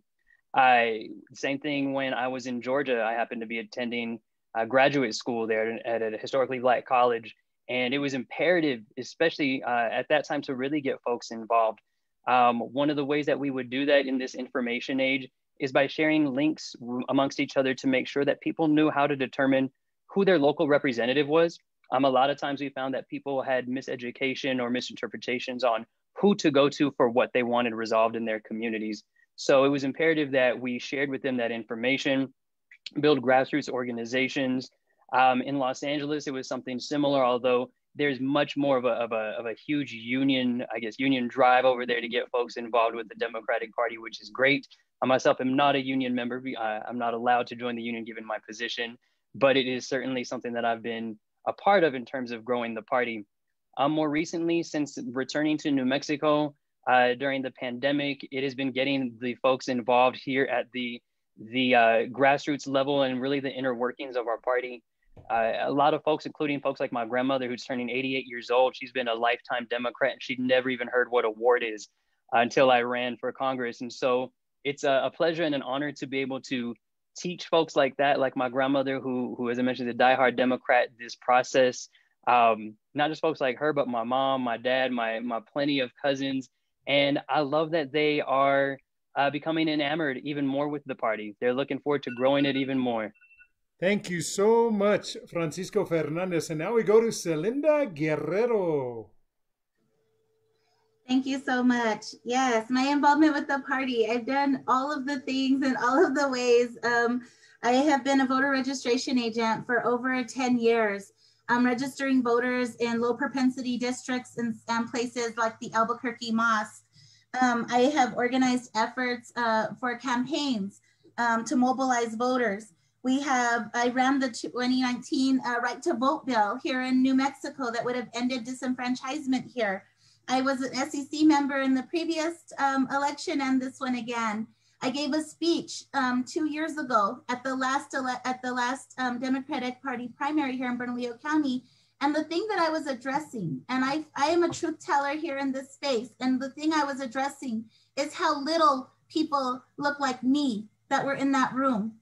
There weren't the working poor there. There weren't black people. There weren't, there was a handful of us. And so I want to, all my work in the party has been to show and to and to bring to these spaces people who look like me and the engagement that needs to happen. We have much work to do. We still have much work to do, even in these conditions. And this past seven weeks that we've been able to mobilize people in um, precinct chairs and ward chairs that have been ignored for a very long time, where we live in neighborhoods where nobody talks to us from the party, but we are mobilizing. And this is the unity that we have to bring. We have to encourage and bring our folks with us um, all the time. And we have to help our folks um, bridge those gaps and build the network. That's how we've been successful is by building a network of solidarity and learning and engagement that has helped us all come along together and be strong and powerful in these spaces. And that's what organizing in community and in the grassroots looks like. I have also done work in rural communities um, in Doña Ana County and in McKinley County, where we have um, engaged low propensity voters and turned out 97% when we did. Thank you, Selinda Guerrero. and now we're going to go over to Antoinette Sedillo Lopez. And she is going to unmute and take it away.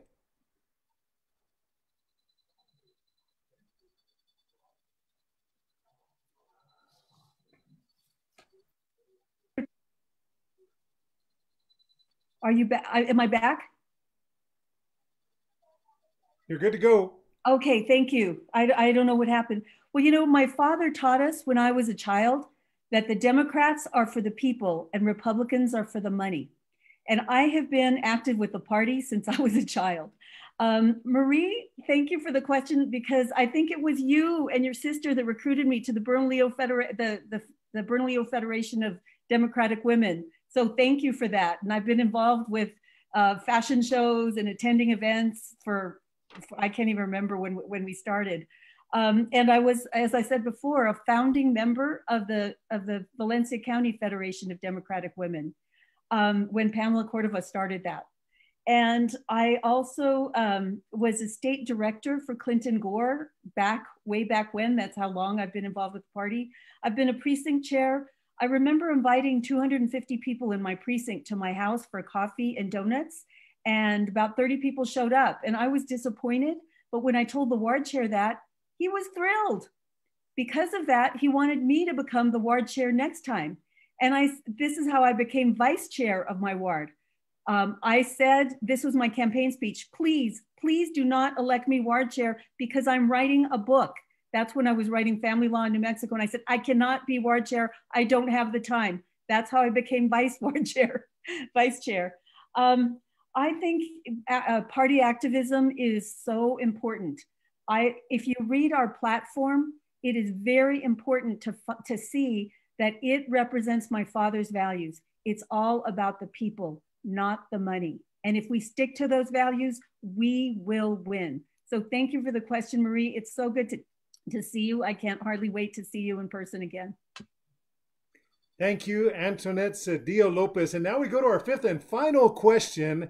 And look, this is a great time to have this forum hosted by the Bernalillo County Federation of Democratic Women and the New Mexico Federation of Democratic Women, uh, because this is Women's History Month.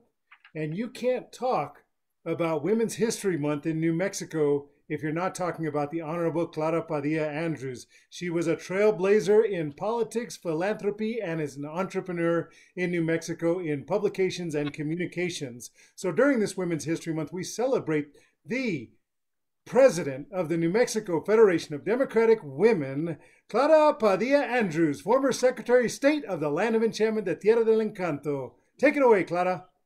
Thank you so much, Brian. I am just so amazed and so excited about the uh, group of candidates that we have. You are just amazing. You have just inspired me. Um, my question is uh, on the, the, this past week, uh, Speaker Nancy Pelosi and others held a press conference on the potential of for ratification of the Equal Rights Amendment. The House adopted a resolution to remove the deadline for ratification of the Equal Rights Amendment. It passed the House and now goes to the Senate. Now, last year, we celebrated 100 years since women uh, gained the right to vote. It's only been 100 years. We've come a long ways, but we still have a long ways to go. In your two minutes, give me, give us your opinion and position in ratifying the uh, Equal Rights Amendment and how you support it. Thank you, Madam former Secretary of State of New Mexico and current president of the New Mexico Federation of Democratic Women. This fifth and final question will begin with Randi McGinn. Clara, thank you for this question. You know, I, I always say, how is it that we don't have an equal rights amendment already? It just it just seems inconceivable that it couldn't have been passed already. And um, you know, as, as someone who um, was the first woman in, in a lot of rooms. So when I was in high school, they didn't have a girls' um, uh, tennis team. So I had to fight my way onto the boys' team. I had to fight my way into the press press box as a, the first woman when I was a sports reporter. Then had to was the first woman in the courtroom. Um, I've spent my time when you say what are we going to do because I was the only person who looked like me in many of these spaces and was the first person to kick open the door or break the glass ceiling, I spent my time reaching back and pulling other women through the door. I mean, one of the things that we can do is to, is to pull them through and to give opportunities to them. And it's one of the reasons why I was one of the original founders with Juliana Koob of Emerge New Mexico to recruit, train, and encourage women to run for office. Um, and so the things that we do in our personal life, you know, and one of the great things is that there's so many people running for this seat that came through the Emerge program. Um, and so it's actually worked. And so we have to get this passed. Um, I think we're going to get pushback from the other side, but we can't let that stop us. We have to show that government can work for the people again and work for women again. And so if it takes getting rid of the filibuster to get this passed, I think we have to get it passed. And then we have to have um, all, of course, they have to vote. All the states have to vote again, and we have to lobby for it, organize, and make sure that women turn out to vote to finally pass what should have been passed years and years and years ago. Um, and, you know, and, and message about it because it's not a radical idea, it's just the right idea. So thanks. Thank you, Clara, for the question. Thank you, Randi McGinn. And now we'll go to Victor Reyes. We absolutely need to pass and ratify the Equal Rights Amendment. That is key to making sure that discrimination, whether it is whether it is in the workplace where women continue to make 83 cents on the dollar for every dollar earned by a man, or whether it is in any sphere of engagement, that women are not discriminated upon, and the key legal protections are in place to make sure that this never happens again. And I'm committed as a member of Congress to making sure that we do everything in our power making sure that we are getting the ratification and the votes in states. I will campaign wherever we need to to make sure that we are promoting this amendment, that we are being clear about the necessity to have these legal protections and the ramifications that it has on reproductive justice and freedom, the ramifications that it has when it means for fighting for equal pay for equal work, when it comes to making sure that we don't have discrimination for transgender women, women of color, women in every sector of the workplace. This has to be a priority, and I commit to any resources and time to making sure that it becomes a reality. All right, Victor, yielding another minute back to the field. Thank you very much, Victor Reyes. Now we'll go to Melanie Stansbury. Thank you, State Auditor, and thank you, Clara, for this question. You know, this last year, because of the 100th anniversary of the 19th Amendment, I've been thinking a lot about the fact that my great grandmother was the first woman in the United States history that was able to vote in my family. That's four generations ago. And there's no question that we've made incredible strides over the last several decades. You know, I think about my grandmother and my mother, who was one of the first women to enter the workforce in the field that she worked in, and now myself serving as a state legislator. But I think it's remarkable to think that neither the word woman or sex still appear in our Constitution because it wasn't part of the fundamental framework, right, when our Constitution was passed. So it's high time that we pass the constitutional amendment, which guarantees the rights to equal access and uh, equal rights for women um, that affirms that sex discrimination is inconsistent with the core values of our country, that helps to dismantle discriminatory laws that still exist in states across the country, and that ensures that there's gender equity across the entire United States. So, yes, we have to get the ERA across the finish line. I will champion it. And in addition to that, we also have to champion women's leadership, voting rights across every community in the United States, and make sure that not only do women have equal protection under the law, but that they are able to vote, that they are able to lead, and that they are able to take our next generation into the future, and that we leave a ladder down behind us. Thank you. Thank you, Melanie Stansbury. And now we'll go to Patricia Roybal Caballero. Gracias. You know, um, I have to tell you, I was raised by women, women in my family. I was raised all, all uh, mother and aunts, and then they had all daughters, so all cousins. And then I was raised by the Sisters of Loretto, all women at a time in the 60s when the Sisters of Loretto the most progressive, uh, nun, the more most progressive nuns in the nation and in the world were fighting so that they could remove their habits and use lay clothing so that they could live and work amongst the people as equals. This was important for us. It was an important example because we were raised as strong women and we were raised to respect equality, equity, fairness and justice. I had the honor of marching in the 1970s when we fought for, against Roe versus Wade and when we had a multitude of marches to, to uh, pass the Equal Rights Amendment. It's been on the burner for far too long. It's about time, as we've been all saying, women are already taking the lead. Women are already demonstrating leadership. Women are already looked at in terms of being able to uh, create change. We have not been afforded it legally. And I think that that is incredibly important. And I think we owe a lot to our trailblazers. I want to acknowledge Justice Ginsburg, who was a principal uh, trailblazer and honored. Uh, Dolores Huerta, who I marched with, who's been my mentor all my life. Uh, we've never, never uh, believed in discrimination of any kind. And it is beyond the time to afford equal pay for equal work. Women's rights are human rights. Thank you. Thank you, Patricia Roybal Caballero. And now we're going to go to Francisco Fernandez. Thank you, Brian, and thank you, Clara.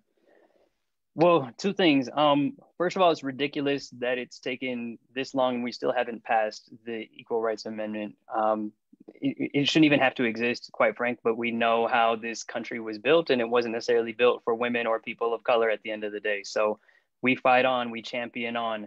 Um, the great thing about the ERA is that it will certainly help close many of, of the gaps that exist in, in our institutions, um, not just with women, but women of color uh, we look at hospitals, for instance, where Black and Latinx women end up waiting in the ER from 30 to 40 minutes longer than white women. We looked at, or how we talked about earlier with the gender gap.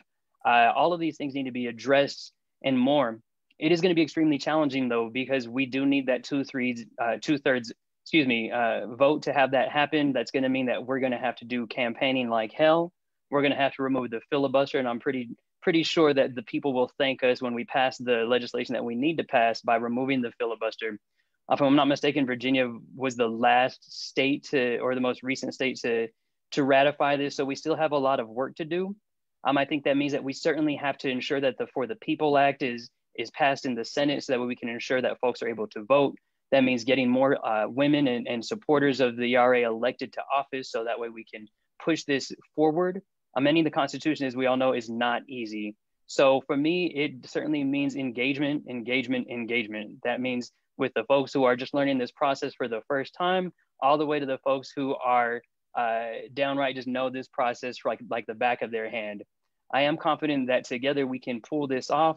It's just going to mean that it's going to take a lot of dedication and education so that we can close this gap together. Thank you.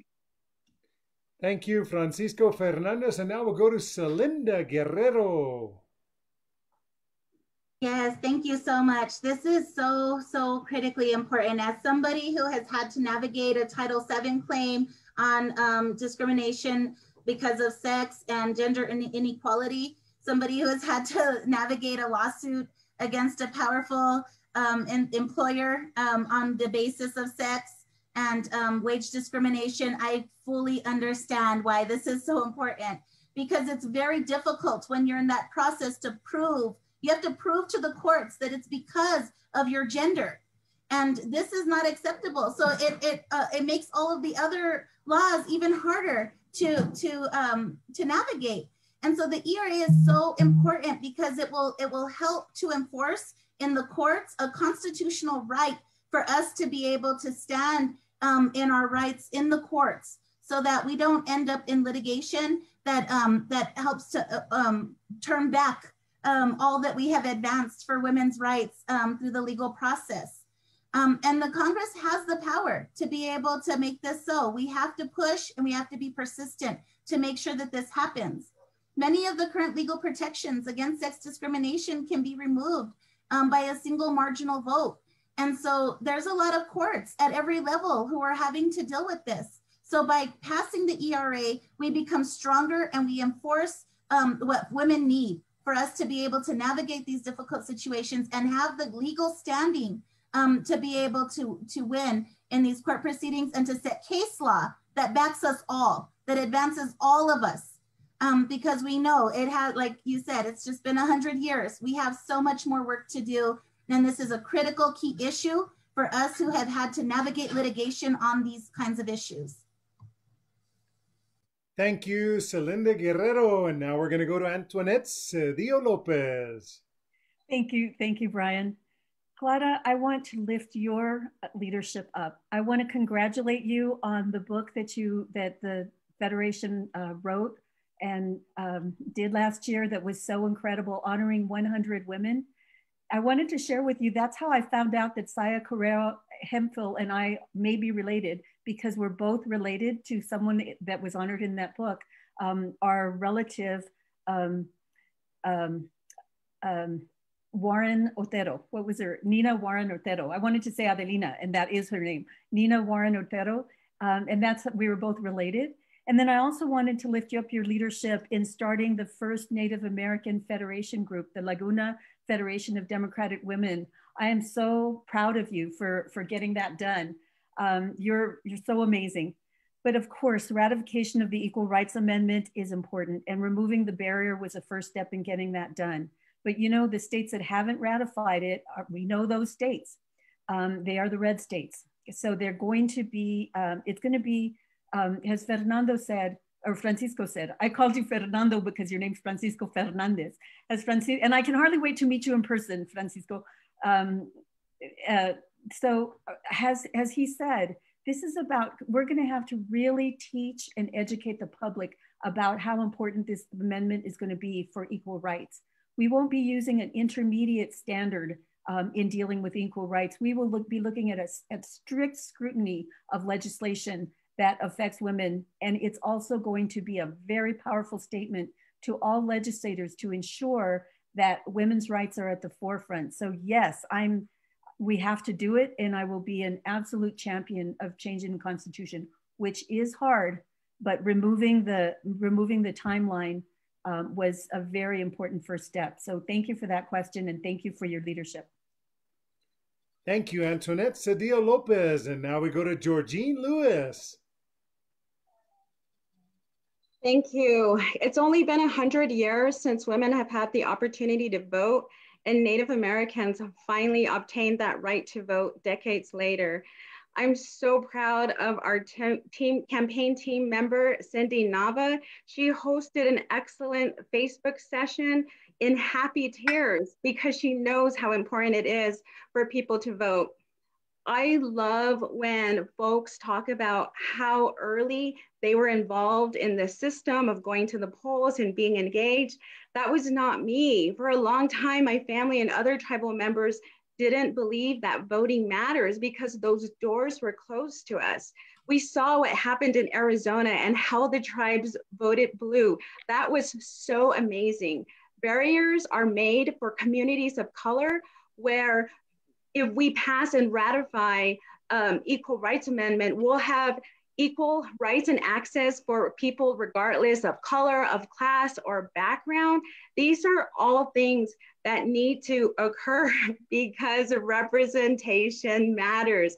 I would love to see a culture of voting in these communities that are always discriminated against, where they feel confident that their voices will be heard. This is such an important issue. And I've been extremely blessed to have students that I've taught at UNM help me with my campaigns. And they helped because I would always tell them underrepresented people need to hold seats in leadership. Again, representation matters. We need to be at these seats where decisions are being made, where these conversations are ongoing about these policies that are affect our families and our communities. And before closing, I just want to thank the Federation for this important discussion and for asking about all of these critical issues. Congratulations to the Laguna Federation of Women. I, that's so exciting. Thank you. Thank you, Georgene Louis. And now we've come to this very exciting part of the night when we get ready to do closings. Before we have those closings, and then I'll uh, let the Honorable Clara Padilla Andrews close, but I, I want to just say that what a privilege it has been for me uh, to be in the presence of such phenomenal, phenomenal leaders. Uh, I have a pre-existing relationship with with all of you. Uh, I've spoken to all of you. I respect all of you a great deal, And, and I'll just say that it's particularly powerful for me during this Women's History Month, during a time, uh, a week that followed pain for my family, as my wife is of Asian descent, uh, for women in America, and particularly uh, as it relates to violence. Uh, for people of color, it's been a very traumatic, traumatic, and trying time. And so to be asked to stand with the New Mexico Federation of Democratic Women and the Bernalillo County Federation of Democratic Women to join you tonight and facilitate this conversation, uh, it's something that I won't forget. And I also want to say thank you to these eight tremendous candidates because while I have hosted many forums, there have been very few that I can think of where the candidates were so very disciplined about landing their answer right at two minutes. So I appreciate you very much. You've made it so easy to moderate tonight. Thank you to the federations that hosted this, Bernalillo County and our state federation. And we're going to go in reverse order for our closing remarks, folks. Uh, I will say that if you check out my Facebook cover photo, if you've loved these two minute answers, and you're going to love these two minute closings, each and every one of these candidates are going to join me for an hour on Cafecito con Colon. For the next eight days at 9 a.m. on this very same Facebook page, you'll be able to see each one of these candidates individually from 9 to 10 a.m. on Cafecito con Colon. Thanks to all these candidates for saying yes. They said yes, and I'll show up whenever the schedule permits, and they were there. So I want to say thank you to them.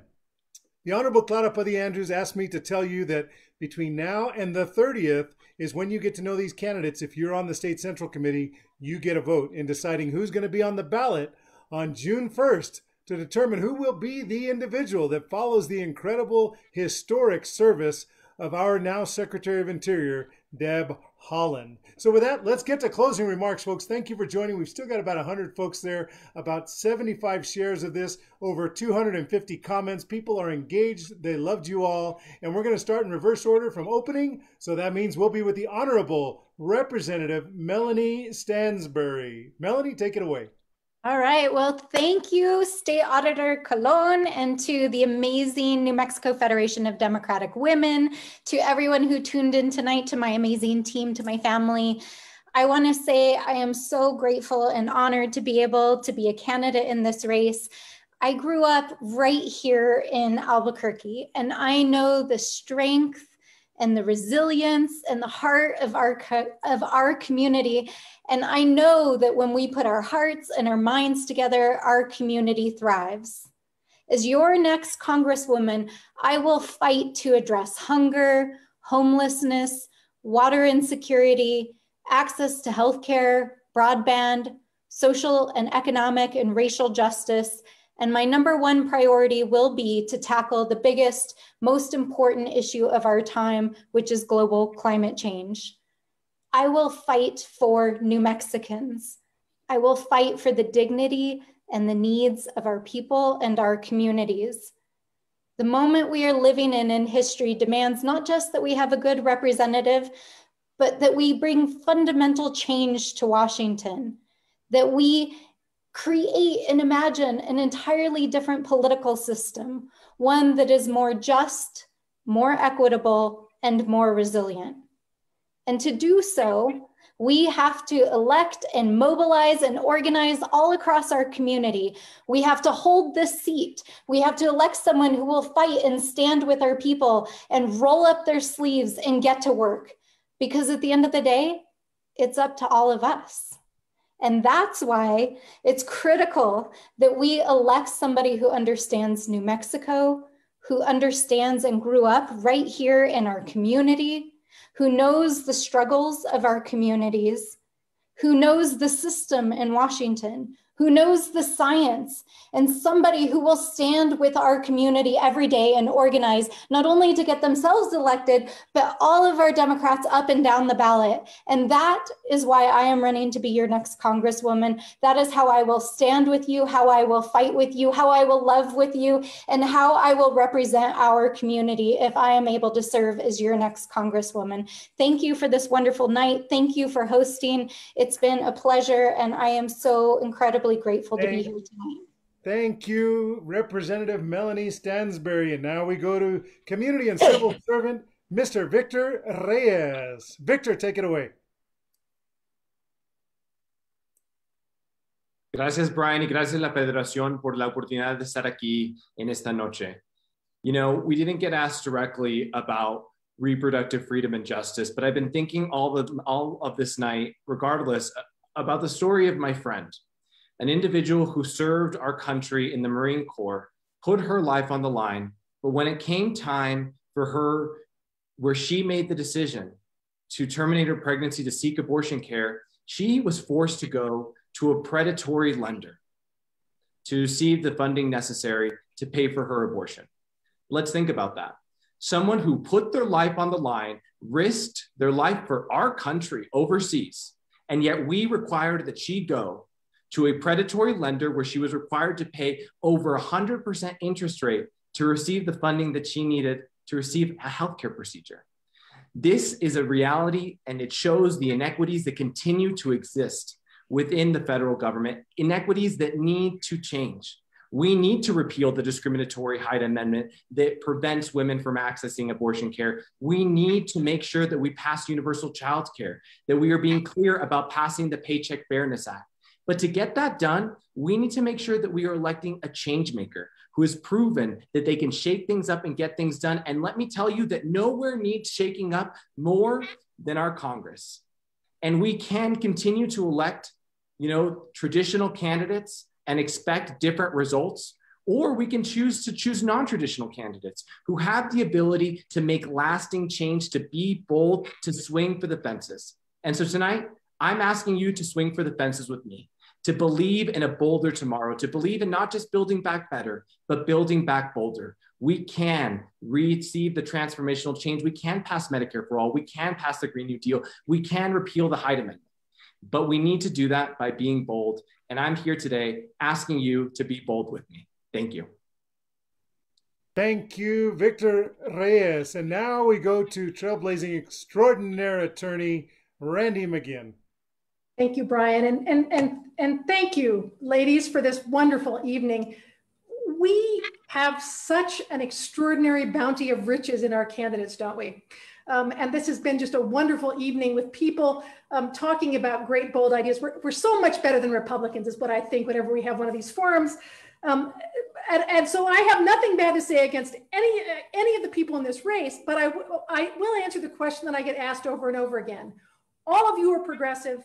What are your what's your skill set that makes you different from the other people in the race? And so let me tell you that there are two ways to social justice that are going on right now in Congress. One is to pass laws that enact social justice. And quite frankly, the legislative part of this is the easiest part that any of us could do. Someone gives you a, a, a bill, you sponsor it, the hard part of that is persuading other people to go along with this and to build coalitions to make sure that our, our legislation and all of our bold, bold, progressive ideas that Victor talks about are actually passed. And that's where I have a special skill set from having taken on the baddest corporations in the country and having to negotiate transformative deals, not just asking for money, but asking for changes to make the communities safer.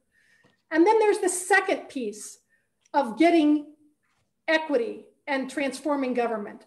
And that's the accountability piece that's also going on in Congress, where we're investigating all these people, these white men who are hanging on by their by their fingernails, who, who invaded the Capitol, so that we can hold them accountable and say, this is not okay. And those hearings will start in probably three, three to six months. And the one person who knows how to hold people accountable, who knows how to cross-examine liars, and let me tell you, there's plenty on the other side, that's my skill set. And I'd like to go to Congress to do that piece, to fight and to hold people accountable and expose the lying and the disinformation that's gone on for the last four years. Um, and stand up as a country and say, this is not okay, and we're going to go forward and transform the government to work for people and not corporations ever again. I'd appreciate your vote for Congress. Thanks, Brian. Thank you, Randi McGinn. And now we go to the Honorable Representative Georgene Louis. Thank you, Mr. State Auditor. Thank you, New Mexico Demo Federation of Democratic Women. Thank you to everyone out there watching. I'm so glad you're involved and you're interested. That's really important.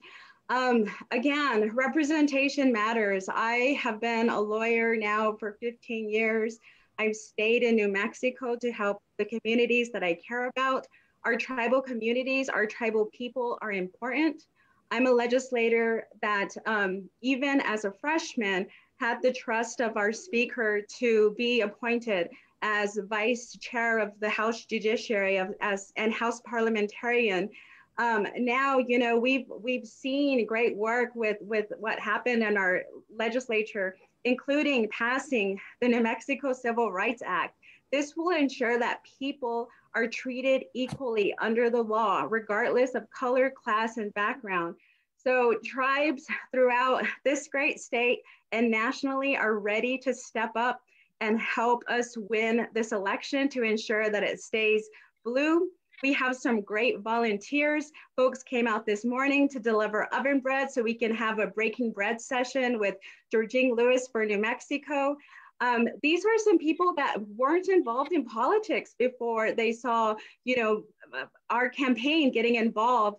Um, I've, I've been in the legislature for nine years. I want to serve my community. I'll do that in Congress. We need someone with experience. Unfortunately, we suffered through a failed experience with our Trump administration. We need someone ready on day one. In addition to that, we need someone that's going to be there long term to hold this seat for many, many years and ensure that we have advanced placements in committees so that we can deliver for New Mexico, we can deliver for our communities, and um, I, I am ready to go. And I just want to thank everyone again. More information can be found at our website, georgine4nm.com. Thank you. Tawa'a. Thank you, Representative Georgene Louis. Now we go to the Honorable Senadora Antoinette Sedillo Lopez. Ryan, you have a calling, and, and, and it's beyond politics. That is amazing. I want to thank the Federation and uh, both the Federation of Bernalillo and the, the, New Mexico Federation and all of the leadership there. Uh, my name is Antoinette Sedillo Lopez. I grew up in New Mexico and I raised my three children here. I've always been involved and here in the district. I've always been engaged and involved in my community. And I am running a campaign that is different. It's free from fossil fuels money, free from corporate PAC money, and of course, no NRA money.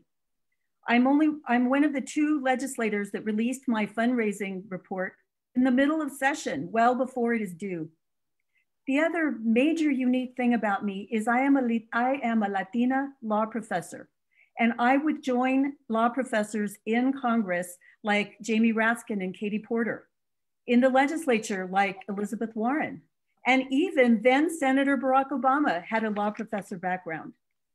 That is unique, and I want to join those extraordinary individuals we have engaged hundreds of people in our 40 workshops that Amanda and Tiffany have left. So we have brought tons of people into involved to being involved in the party. And I have shown that I can hit the ground running. I was appointed to the state senate the day before it started. And literally I had to hit the ground run, running on day one. And I was able to do that. I have brought forth progressive legislation and I've been effective in passing progressive legislation. Um, I've brought legislation that shines the light on a huge industry like the oil and gas industry, and I have shown and I've stood up to them and shown that I can do so and that I don't back down. I am ready and I ask for your support. To learn more about me, go to um, cedillolopez.com and you'll learn about at least dozens of my issues. So I really appreciate this opportunity to, to be here and to spend this time with, with this extraordinary group of candidates. Thank you. Thank you very, very much. Thank you, Senator Antoinette Sedillo Lopez. And now we go to community organizer and advocate extraordinaire, Selinda Guerrero. Thank you so much, Brian. Way to roll those R's. I love it. we are powerful warriors out here. We are guerreros. I am here as the working core and an organizer for Black Lives. I have never been a political candidate before, but I was inspired to run because of the new wave of uh, Congress members who are people of color, queer, and the working class. I am a queer BIPOC feminist and am the working poor. As an organizer, we know that we must center those that are at the center of impact because we know that those closest to the problem have the best solutions. This is a great opportunity for us to bring those voices to the decision making table. New Mexico has never sent a Black person, much less a Black queer woman, to Congress. We must keep moving forward after the historical election that sent Representative Deborah Haaland as the first Indigenous woman elected. We can continue to make history and advance representation for us all. We know diversity is important when promoting democracy. It will take all of our ideas, experience, and background to continue to re envision the building of the world that we all want to live in and where we are all valued and we all truly matter. I have been a community organizer since I was 17 years old, and I have used grassroots organizing tactics to uplift and invest, building power within our own communities. It is time now that we channel that same grassroots organizing power and people power and take it to Congress. That is why I see my run for office as our run, our run for the people. We are the working poor. I'm a union member. I'm a human rights activist, and I am a dedicated voter registration agent, poll worker for more than a decade. I'm a movement builder who moves with my people. I will move with my, with you as, as your next congresswoman. We are powerful when we move together to pass legislation to advance the priorities of us all. There are a lot of lawyers and corporate class representation in Congress, but democracy works when all of our voices are represented. I am a community healer, and my values are to lead with love and stand in my courage. That will hold me accountable as your next Congresswoman. Thank you. Thank you, Selinda Guerrero. And now we go to television and film expert entrepreneur, Mr. Francisco Fernandez.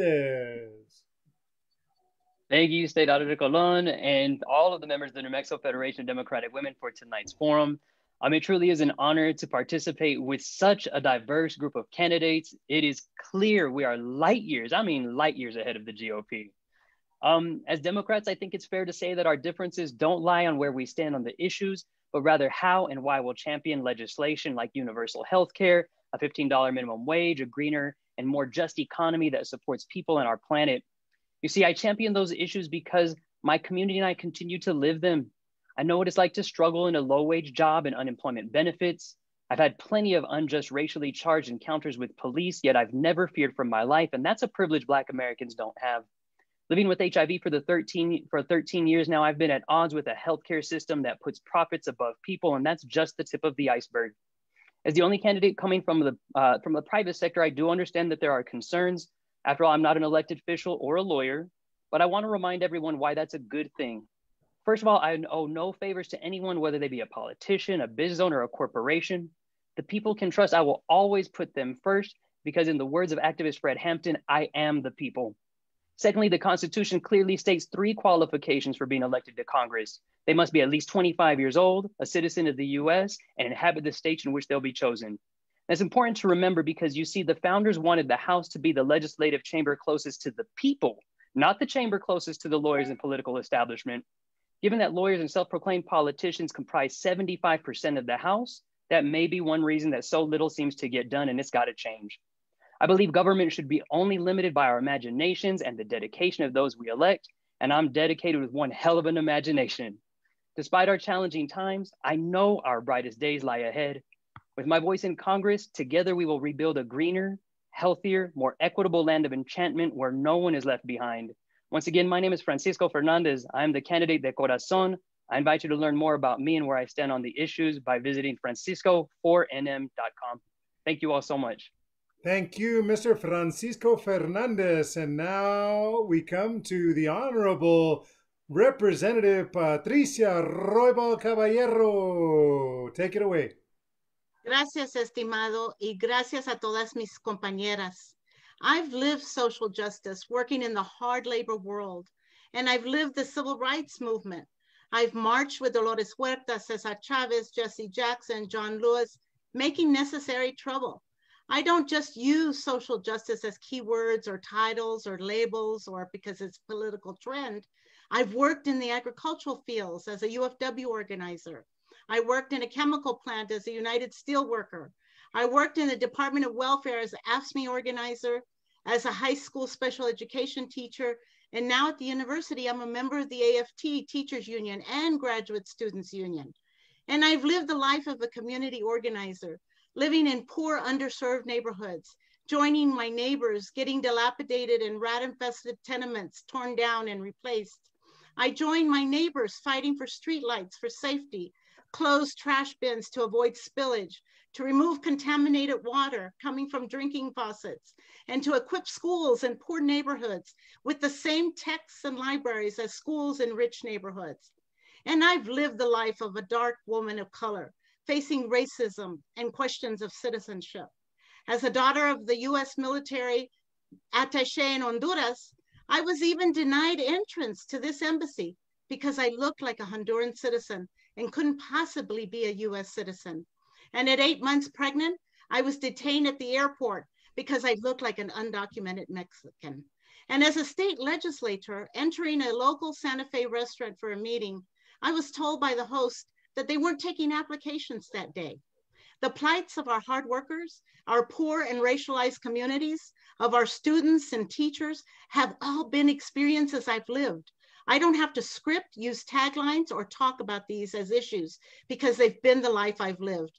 These experiences of income inequality, climate action, and racial justice drive my state legislative priorities today and will be the necessary policy priorities I will continue in Congress. Thank you. Muchas gracias. Adelante y sí se puede. Thank you, Representative Patricia Roybal Caballero. And let me just say, we've got so many great folks that have tuned in tonight, so many great giants in New Mexico history when it comes to women's history. People like Mary Molina Mescal.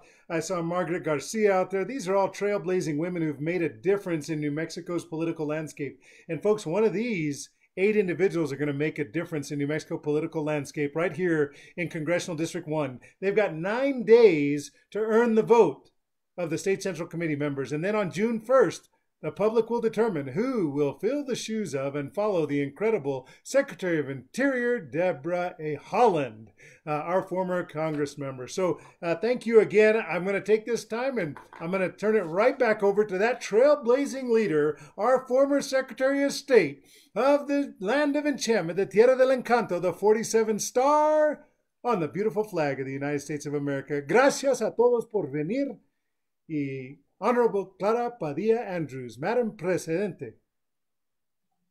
Brian, you are just amazing. I knew the day that I called you. You know, one thing about Brian, uh, he always, always gives you a direct answer right away. And I called him and I said, we're going, we're wanting to uh, organize this forum. And he said, I'll be there, I'll help you. So thank you so much from the bottom of my heart. I really appreciate it. My board, you know, the executive board, let me just mention their names uh, because they also thank you. Beverly Michaels is our vice president. Luella Harden is our secretary. Diane Murphy Griffiths is our treasurer. Marisa Dio is our regional director for CD1, and Lydia Piro is the regional director for CD2. Dr. Leanne Salazar Montoya is our regional director for CD3, and Pam Cordova is our immediate past president. These women are amazing. They we work together very well throughout the year, and uh, one of the things about the New Mexico Federation of Democratic, we we do a lot of things in between, but three of our major events that we have are we have our uh, uh, Women in Blue Legislative Day during the legislative session, where we usually have a few um, um, things that we do there while we're there. And uh, then we have our spring meeting and our fall meeting. And all of uh, this past year, all of them have been on Zoom, but they've been well attended also. But uh, so on behalf of the New Mexico Federation of Democratic Women and the Bernalillo County Federation of Democratic Women, also, I thank you. I thank you, the CD1 candidates, for taking the time to be with us this evening. We expect it to be two hours, but we're a little bit over, but that's okay because all of you were so interested. It was so good to hear every one of your responses. I also want to again thank our uh, our incredible, honorable Brian Colon for always being willing to help. Thank you so much, Brian. And then also for our panelists, Marisa Dio, Deb Dodson, and uh, Lorraine Espinosa.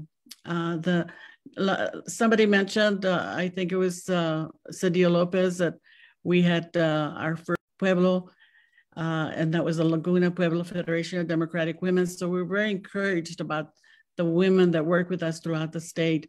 Uh, so uh, I know you're running here in Bernalillo County, part of Sandoval and part of, uh, of uh, uh, Valencia County and part of Torrance County. But when you travel throughout the state, always look up our Federation of Democratic Women. They're always willing to help you.